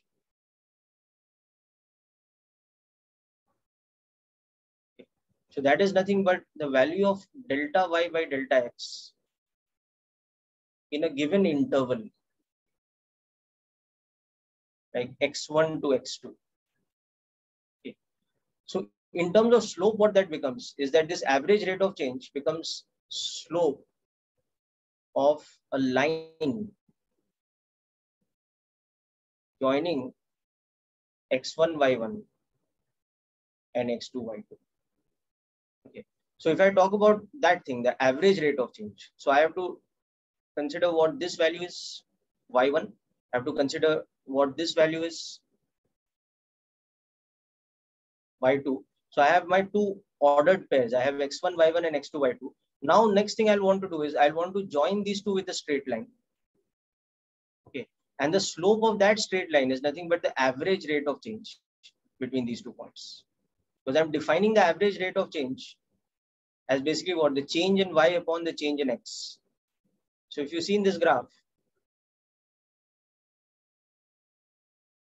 this quantity over here is delta y, which is y2 minus y1. And this quantity over here is delta x, which is x2 minus x1.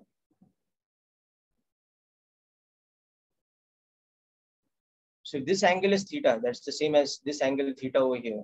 Okay, so you can see that delta y by delta x, which is y2 minus y1 upon x2 minus x1, that becomes the slope of that particular line. So this type of line is called a secant line. There's a specific name given to it. It is called a secant line. So a line joining two arbitrary points, but two distinct points, that is called a secant line.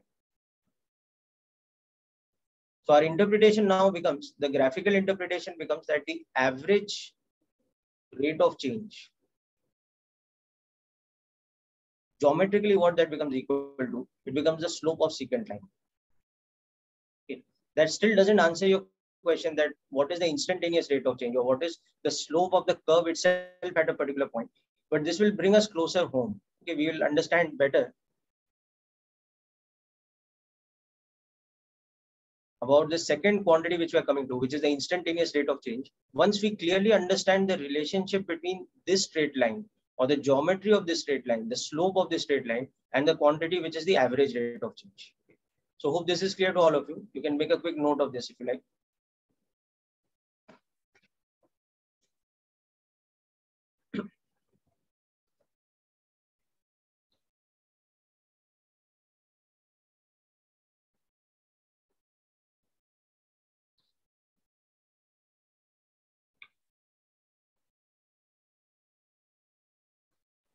Sir, can you explain this again? I got disconnected a while.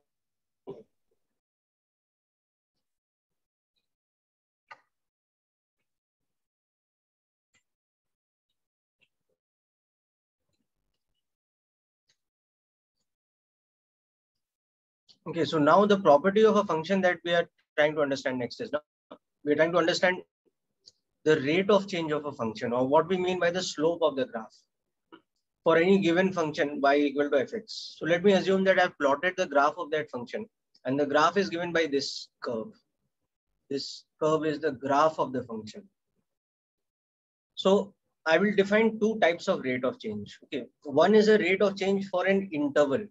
For example, you know, if if we are if we are measuring things related to motion, so we might we might relate distance with respect to time.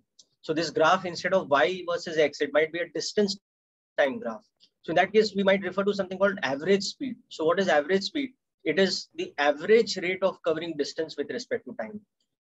So whenever we are trying to calculate the average speed, we'll always calculate it for a given interval of time. We won't say what was the average speed at five hours. We will say what was the average speed from 12 o'clock to 12.30 or from 12.15 to 1.45, etc. Understood the point now? Yes, sir. So average rate of change is always defined for an interval. So that is the property of average rate of change. It is the value of change in y upon change in x. That is delta y by delta x for a given interval. Here, that interval will be from some value of x, let's say x1, to some value of x equal to x2.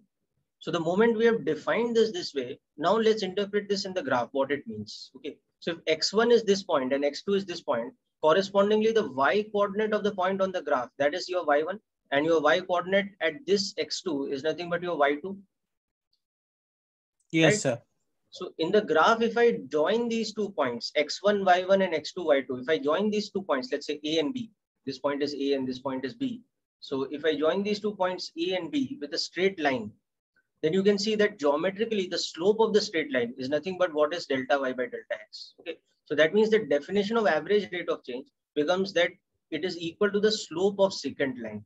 And what is a secant line? It is a line that joins the two points which you are selecting for your interval. Okay, sir. It's clear now, no? Yes, sir. So, but oh. this secant line can vary, right? Because of the nature of graph. Yeah, exactly, exactly.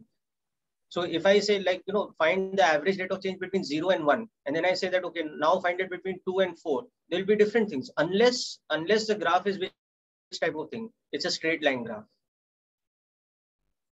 If the function itself is linear, then the average rate of change will be the same for all intervals, right? Yes, sir. Okay. So that's another point that we can note down here that for a linear function,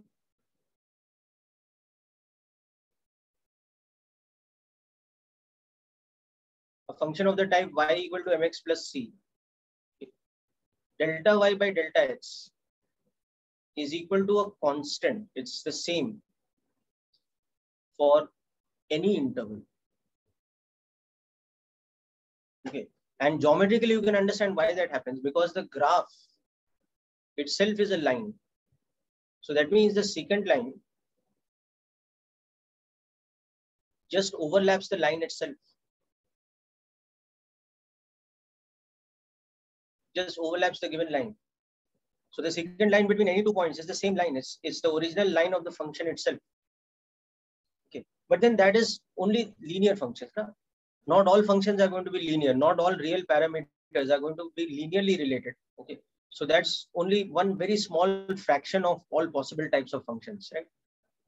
Okay, now the second type of rate of change we'll define is the complex one. It is called the instantaneous rate of change.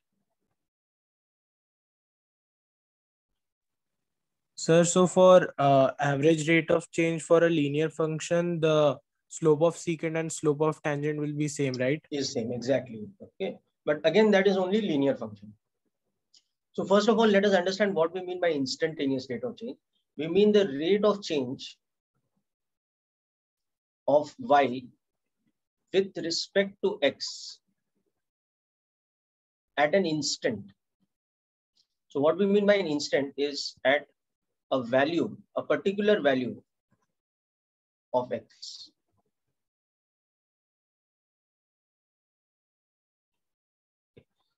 So first, let's try to understand some kind of intuitive meaning of this. कि instantaneous rate of change, अगर मेरे पास graph है, then how I would interpret this quantity intuitively, that what is the instantaneous slope or the instantaneous rate of change at a given point.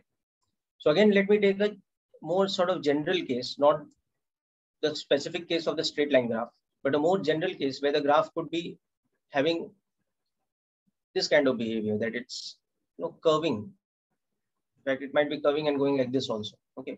Now let us say that I want to find the instantaneous rate of change at this particular value of x, which is let's say x1 at this point A. So in other words, what I want to do is that is that at this point, I want to draw a line, but that line is not between two points A and B okay, I want to draw what is called a tangent line, which immediately shows me the instantaneous rate of change or the specific rate of change at that particular point itself. So I'll want to draw a line which is something like this.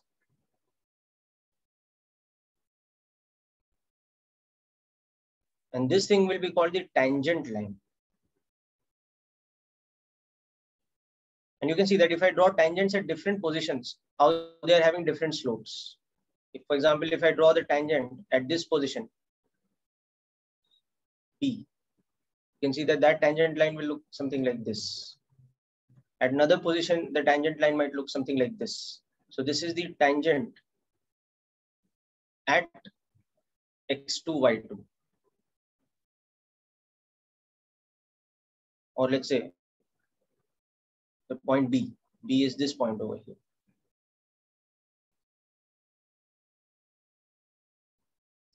So this is a sort of intuitive meaning of what we mean by instantaneous rate of change. So what we want to do is that we want to find the slope of the tangent to the graph drawn at x1, y1. So instantaneous rate of change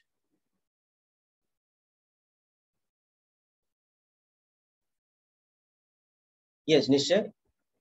Sir, so in general, slope of any secant or tangent defines the uh, measure of inclination of it uh, from the positive x-axis, right? Yes, yes. In general, it defines that tan theta. So slope means tan theta, so the measure of inclination. But what is the difference between secant line and tangent line? Tangent line is a line which is drawn at a particular instant or at a particular point on the graph, and it just touches the graph at that point. Whereas secant line is a line that actually joins two particular points, two distinct particular points on the graph. So you can understand now that the whole business of drawing a tangent line is much more complex than drawing a secant line, right? Yes, sir. Hmm. So that is where calculus comes into play. Calculus, you can say, is a mechanism. It's a mathematical machine which tells us how to draw this tangent and how to find its slope. Because as of now, we don't have any geometrical method of drawing the slope. It's just like I've drawn a rough idea, rough estimate of what the tangent should look like. Can I actually do the calculation from this estimate? No. I have to develop some kind of machinery for that. You understood this point? Yes, sir. Okay. So you can just make a quick rough note of this definition if you like, and then we will see how we actually come down to drawing this tangent or finding out the slope of the tangent. Okay, this is just an idea of rough idea of what we are trying to do. We are trying to draw a line such that it just sort of intersects the curve at that particular point. And then we are trying to find the slope of it. And we are then defining that, okay, the slope is equal to the instantaneous rate of change.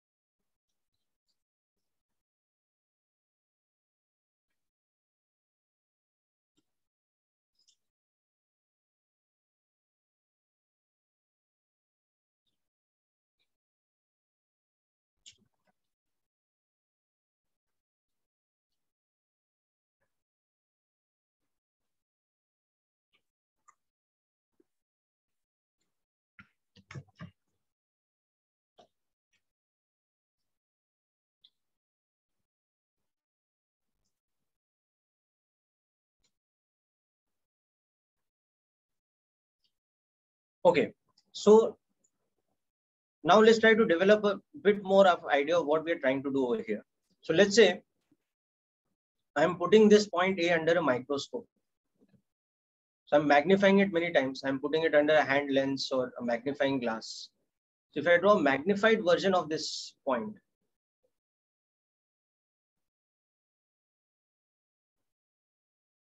so I might come up with a diagram like this now, let's say.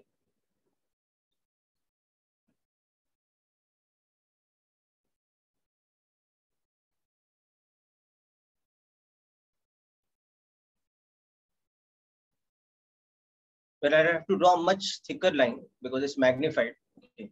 And now that point A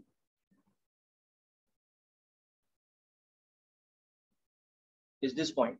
Okay. Now the tangent line that I'm drawing that would become something like this.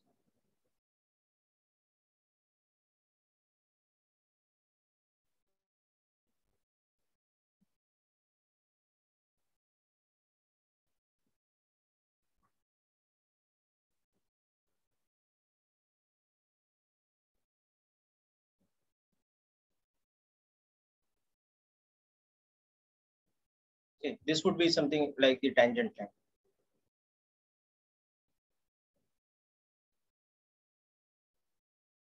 So what I'm doing is I'm trying to join A with the point in A's neighborhood, which is very, very close to A.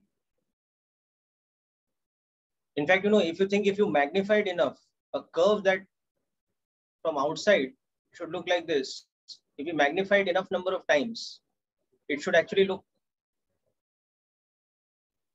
like a collection of line segments, one after the other. If you magnified enough, it should look that curve at a particular point. It should look like a collection of dashes like this. So if the point A is lying at a particular intersection here, so we have to just extend that particular dash between A and the next neighborhood point. So what we can say is that this second point is the point right adjacent to A. Okay. So it is right adjacent in such a way that it almost merges with A.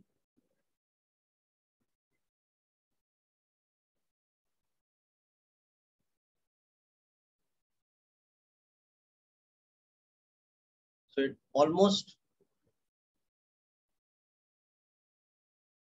But then, sir, doesn't it lose its definition as a tangent?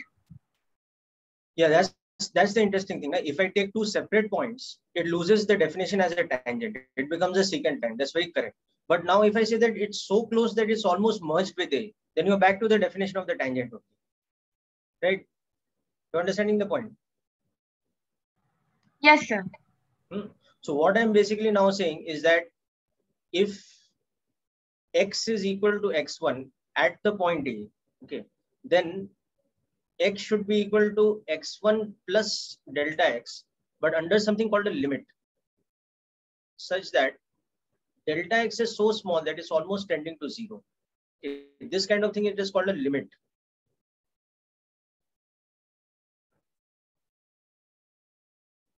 At the point which is adjacent to x, uh, adjacent to A.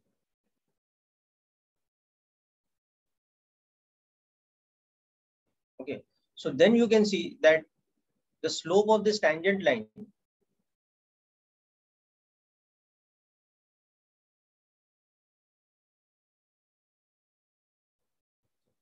which is basically instantaneous rate of change.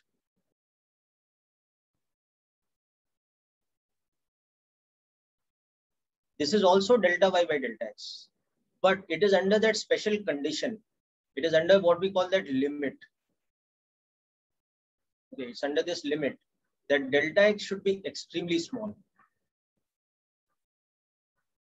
Okay, and this limit is such that the smaller the value of delta x we are taking, the more accurate our calculation of slope of tangent is going to be. Okay, so it is like ultimately, see, physics is about a subject of measurement.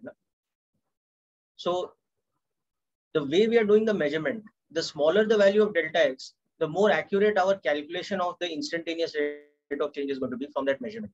Are you understanding the point, Beta?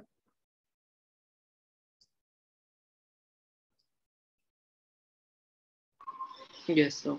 Hmm, so for example, if we were, if, if y was representing distance s and t, x was representing time t, then this delta y by delta x is nothing but distance upon time. So if this is s2 minus s1 upon t2 minus t1, it is representing average speed. Okay, provided I'm taking this as distance and not as displacement. Whereas if it is delta s by delta t, but under the condition that delta t is very small, it is tending to zero, then it is representing what? It is representing instantaneous speed. Now in that in that measurement of instantaneous speed, let's say I'm actually using a speedometer or something. So the smaller the value of time the speedometer is able to calculate the distance for, the more accurate the measurement of that speedometer will be. So typically speedometers, analog speedometers use the rotation of the wheel, the rotation, the rate of rotation of the wheel to measure the instantaneous speed. So if I have one, uh, you know, one uh, speedometer which measures five rotations, the time taken for five rotations of the wheel, that will give me a certain accuracy of average speed. But if I have a better designed one, which is telling me the time taken for a single rotation of the wheel, then that one is that much more accurate now because the time taken for one rotation is one fifth the time taken for five rotations roughly. Okay, is the point clear? Yes, sir. Okay, so I know I'm coming to the end of the lecture, but I will just take another two, three minutes to illustrate this point with an example. Okay, and with that example, we will learn the first operation of differentiation today indirectly. Okay, so let's take the example of the graph we were talking about earlier. y is equal to x square. Okay, now what we will do is we will calculate delta y by delta x first of all for the interval x is equal to 1 to x equal to 2. So x1 equal to 1 to x2 equal to 2. Okay. Then we will calculate instantaneous rate of change.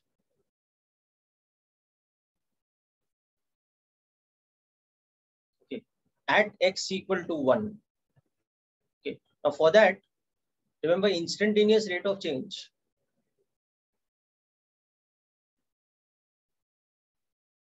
is equal to how much? It is delta y by delta x. But under this special condition, what we call the limit, that delta x should be tending to zero. So it should be very small.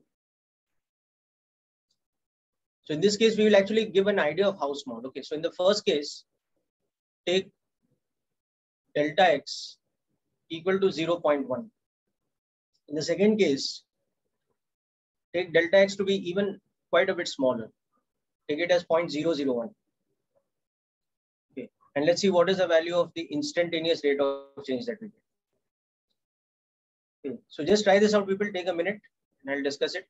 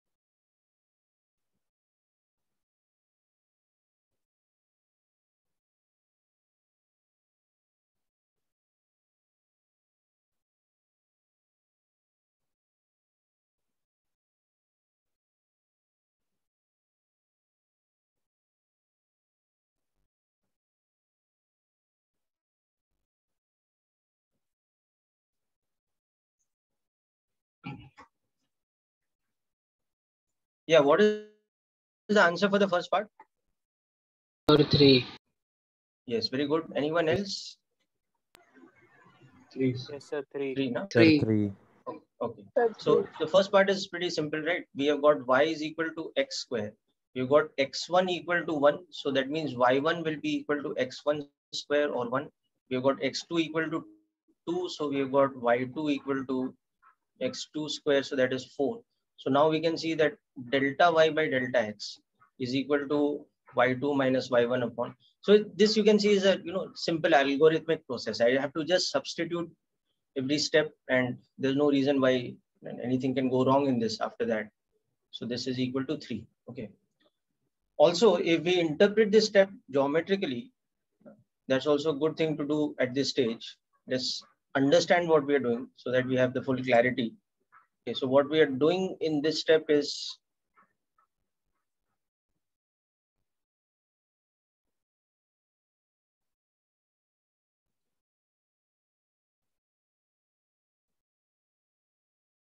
So let's say Now I'm drawing only on the positive side because I don't need the negative side. So this is our graph. So let us say this is the point 1 comma 1.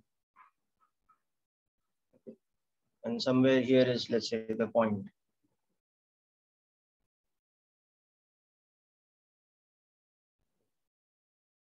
Two comma four. So I'm just drawing the secant line between these two points. So the secant line slope that will be equal to delta y by delta x. So in other words, what I would be doing is I'd just be joining these two points with a straight line.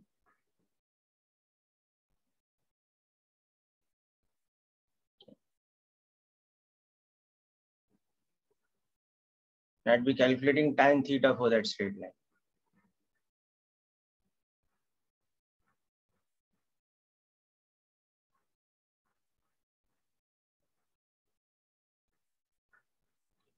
So tan theta is equal to slope of secant line. That is equal to average rate of change. Okay, so that's what I mean. Okay. But now if we come to the second part, anyone got the answer for the second part's A part? 2.1. So 1.1. 2.1. 2.1. 2.1. Something like that you will be getting. Okay. So what I will first do is I will try to understand what I'm doing graphically. Then I will come back to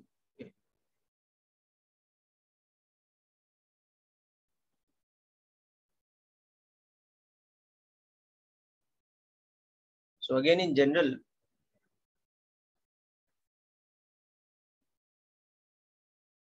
this is my graph.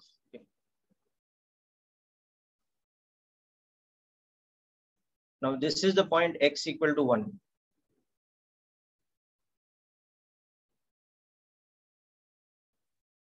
Y equal to 1. So now what I'll do is I want to draw the tangent at this point. So to understand how I'm drawing the tangent, especially given my values, I'm going to magnify this. So when I magnify it,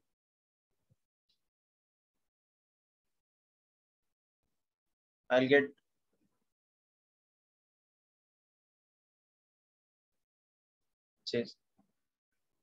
some kind of graph like this at that point. So now what I'm doing is this point I'm taking as x equal to 1. But in my A part, I'm taking delta x tending to 0 as delta x actually 0.1. So it's actually not that good an approximate because 0.1 is not that small a number. But anyway, so then I'm taking this point, the so-called next point as x equal to how much? I'm taking x1 as this, I'm taking x2 as 1.1. Okay. And then what I'm doing is I'm calculating y1 as x1 square and y2. And then I'm calculating the slope of this. So I'm calculating this delta y by this delta x. And from that, I'm basically constructing this tangent line.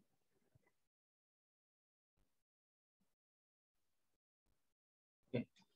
So in this case, my instantaneous rate of change is limit delta x tending to zero. So very small value of delta x, delta y by delta x. Okay. So in this case, that would become how much? That would become 1 plus 0.1 squared minus 1 squared divided by 1 plus 0.1 minus 1. So you can see that this will become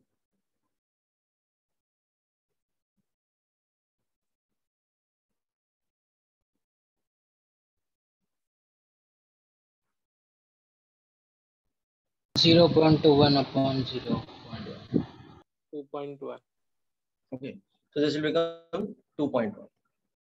So 2.1 is a sort of approximate slope of tangent. If I take the value of delta x as approximately 0.1. Okay. Now what's happening in the second case when I'm taking delta x even smaller? In this case, how much is this coming out to be?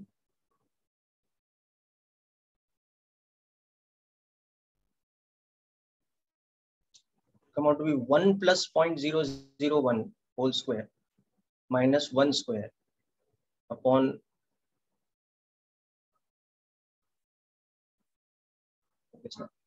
So we can use the a square minus b square formula. That will actually help a little bit.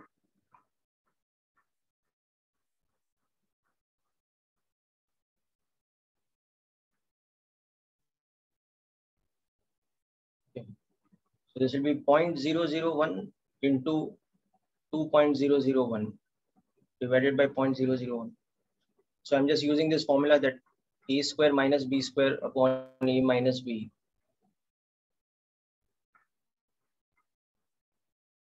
So that becomes a plus. So this time I'm getting this. So I'm getting the instantaneous rate of change. But again, this I'll have to say is approximately equal to, no, because I have not taken delta x as exactly tending to zero. It's an approximation when delta x is taken as 0.001. Okay. Similarly, this was an approximation of instantaneous rate of change. This was an approximation of it when we have taken delta x equal to 0.1. Now it should be obvious to us that this is a better approximation compared to this one because the value of delta x is quite a bit smaller. It's 100th. Right? This is clear? Yes, sir. Okay, now let us understand how we can come to an exact answer. So how we can come to an exact answer. Now this is a new symbol we will learn dy by dx. Okay, this is the special symbol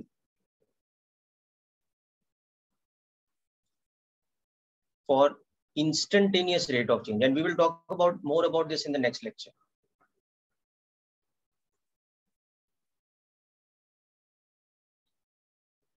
We'll talk about more of the symbol and its meaning also. So this instantaneous rate of change is 100% accurate, you can say maximum accuracy kind of calculation of limit delta x tending to zero, delta y by delta x. So let's do this calculation now theoretically without taking any particular values. So if I do it theoretically, now I want to find out instantaneous rate of change at x equal to 1. So what I should do is I should calculate limit delta x tending to 0 Okay. Now the function was what? It was y equal to x square.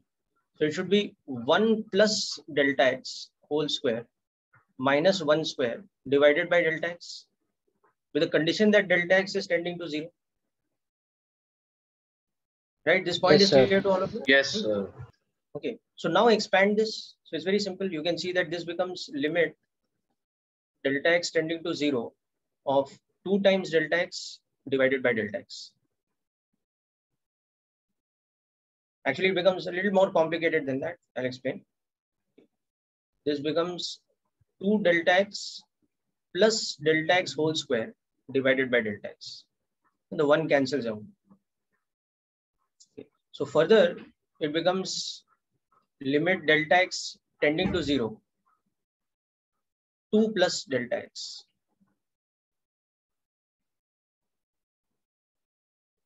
Right, so we are clear up to this step. Yes, sir. Yes, sir. So that means what is the most accurate possible value? When delta x is so small that it is what we call infinitesimal. Delta x tending to zero, it is what we call infinitesimal. Another way, way to explain that would be that delta x is equal to 1 upon n, where n is tending to infinity. It's that small. Right? It's 1 upon n, where n is tending to infinity. So it's like, you know, it could be 1 upon 10 to the power 50, or it could be 1 upon 10 to the power 100, something like that. So n is that large a number. So in that case, this delta x is negligible compared to 2. So it will become exactly equal to 2. So the smaller the value of delta x we are taking up, the closer we are coming to the value of 2. So that that is again like the limit of an infinite sum series, you know. Like for example, when we had taken delta x as 0.1, we had got dy by dx as 2.1. When we took delta x as 0.001, we observed that dy by dx, the instantaneous rate of change became 2.001. Like that, if we had taken delta x to be, let's say, five zeros and then one, or 10 raised power minus six, we would have seen that we would have got dy by dx as 2.00001. So like that, when we are taking it infinitesimal, that is, it is tending to zero. It's one upon n where n is tending to infinity. So in that case, what happens? It will exactly become equal to. So this is the exact value of the instantaneous rate of change. Because it's converging to that. You know, the smaller the value of delta x we're taking, the closer it's coming to 2. So as it converges to 0 delta x, the value should converge to 2. Okay. So this is the exact value of instantaneous. Exact. Yeah, so that is the thing now, which is the argument maths wise. You know? You're understanding the point? like you know two mathematicians were arguing that if i have that series 1 by 4 plus 1 by 4 square plus 1 by 4 cube going up to 1 by 4 to the power n n tending to infinity. So one guy asked the other how much is this? He said nonchalantly it's 1 by 3 but the other guy says no you're wrong. It is always slightly less than 1 by 3 you understanding the point no? yes sir. But then the first guy says okay by how much it is smaller than 1 by 3 so he says that it's smaller by a number where 1 by 4 to the power n, n is tending to infinity. So it's smaller by a number which is 0, no? Because 1 by infinity is tending to 0. Yes, sir. Okay. So that is the whole interesting thing about, uh, you know, uh, calculus and the whole point of infinite and infinitesimal. But we'll talk more about this because this is a bit abstract. Okay. So that is why I started today's discussion by giving an idea about how an infinite series can converge into something infinitesimal. Okay, you can understand that visually in the geometrical example. You can understand that through certain kind of algebra. You can give a proof of that also by algebraically. The second method which I was describing you for this series is sum. That that is a sort of algebraic proof of it also. But ultimately, if you if you think about it very closely now, you will come to the idea that it's like this: that if I'm bringing these two points closer and closer, the closer I'm bringing the second point to the first one, the more close the slope of the tangent is coming to 2. So when it exactly merges with the first point, such that these are two consecutive points on the straight line, uh, on, on the curve, the straight line that I will get, which is the perfect tangent, it will have a slope which is exactly equal to 2. So, sir, like in the whole process, like secant becomes tangent, right? Yes, yes, yes. The moment, so the closer the value of delta x is coming to 0, the more your line is going from the property of secant line to the property of tangent line. You understanding my point, no? Yes, sir. Okay. Sir, so, so it is very, very close to 2, so that it's exactly 2, right? Ah, see, there's a difference. Now, not only we are seeing it's very, very close to 2. Very, very close to 2 तो मैंने ये example में ही दिखा दिया ना जहाँ पे delta x को मैंने 0.001 लिया Yeah एक और example में I could have taken it as 0.00000 something one like this one but what I'm actually showing in this calculation which is on this side now in this calculation I'm showing that the smaller the value of delta x that I'm taking the more it is converging towards 2 you understanding na this is the true meaning of that limit na कि मैं delta x को जितना छोटा लेता जाऊँगा ये 2 से उतना close होता जाएगा so delta x is let's say 1 upon 2 uh, 1 upon 10 to the power 1 crore Okay, then you can imagine how close it is to 2, no? Yes, sir. But even that is not infinitesimal because I've written it as a number, no? 1 upon 10 to the power 1 crore. I've written that as a number, but it should be such a large number now that I cannot write it down. That is the meaning of infinitesimal, no? Then. So in that case, the value of this will exactly become equal to 2. Okay, so I hope the difference between the two is uh, the same. You know, saying that it is almost equal to 2 and saying that it actually converges to the value of 2 as delta x becomes very, very small, infinitesimal. Yes, sir, got it. Okay, so it is a, a bit abstract, but you think of it, you know, uh, you revise this, you think of it from the algebraic limit equation that I've shown you, then you think of it visually, geometrically also, and you will get more and more comfortable with this idea that it actually converges to a particular value. So we can actually calculate the slope of tangent at a particular point. We can draw it with a specific value of the slope and all that. And that is what the, the first part of calculus, that is differential calculus is going to be about. Okay. So we are, we are going to do uh, differential calculus in more detail in our next lecture. So in the meantime, I will uh, forward you some, uh, maybe some reading material about this also. And you revise this lecture carefully Okay, and uh, you can also go ahead and read some stuff from module number one, uh, the second part of it, which is basic calculus. The first part is vectors. Okay, so hope you people have enjoyed today's lecture. Uh, sorry for the bit of delay in completing the lecture and extra time. We'll try to keep it on time from next time. Okay, so wish you all the best. That's it for today's session, people. Sir, can you Thank please sir. share this lecture's PDF? Yes, yes. Both the recording and the PDF I will be sharing on the group. Okay, you will get it by today evening, right? Okay, sir. Bye, sir. Thank you, Sir, sir. can Thank we you so Thank you, much. sir. Bye, sir. Yeah. Sir, can we create a special, uh, you know, Google Drive for uh, all these recordings so that we will get it at one place? Yeah, yeah. In any case, now uh, we we will have a YouTube uh, like there's a channel for each of the tracks. Okay. Okay, sir. and uh, also uh, you know there is on the IITians Hub website now, there is a dedicated space where uh, each of your batches has a link and if you click on the link like there will be a table with all the lectures uh, the links to the lecture recordings as well as the notes and assignment and all that Okay, sir. but if you're more comfortable with google drive you can create a google drive yourself there's no problem with that you know Okay, sir. okay okay Thank you, sir. Bye, sir. Bye, sir. okay Thank you, Bye, sir. Bye, sir. sir. okay Thank bye you, people all the best Sir, I enjoyed your lecture. thank you very much i enjoyed taking it it's good to get your feedback very nice okay. wish you all the best people Thank you, sir. Bye, sir. okay bye people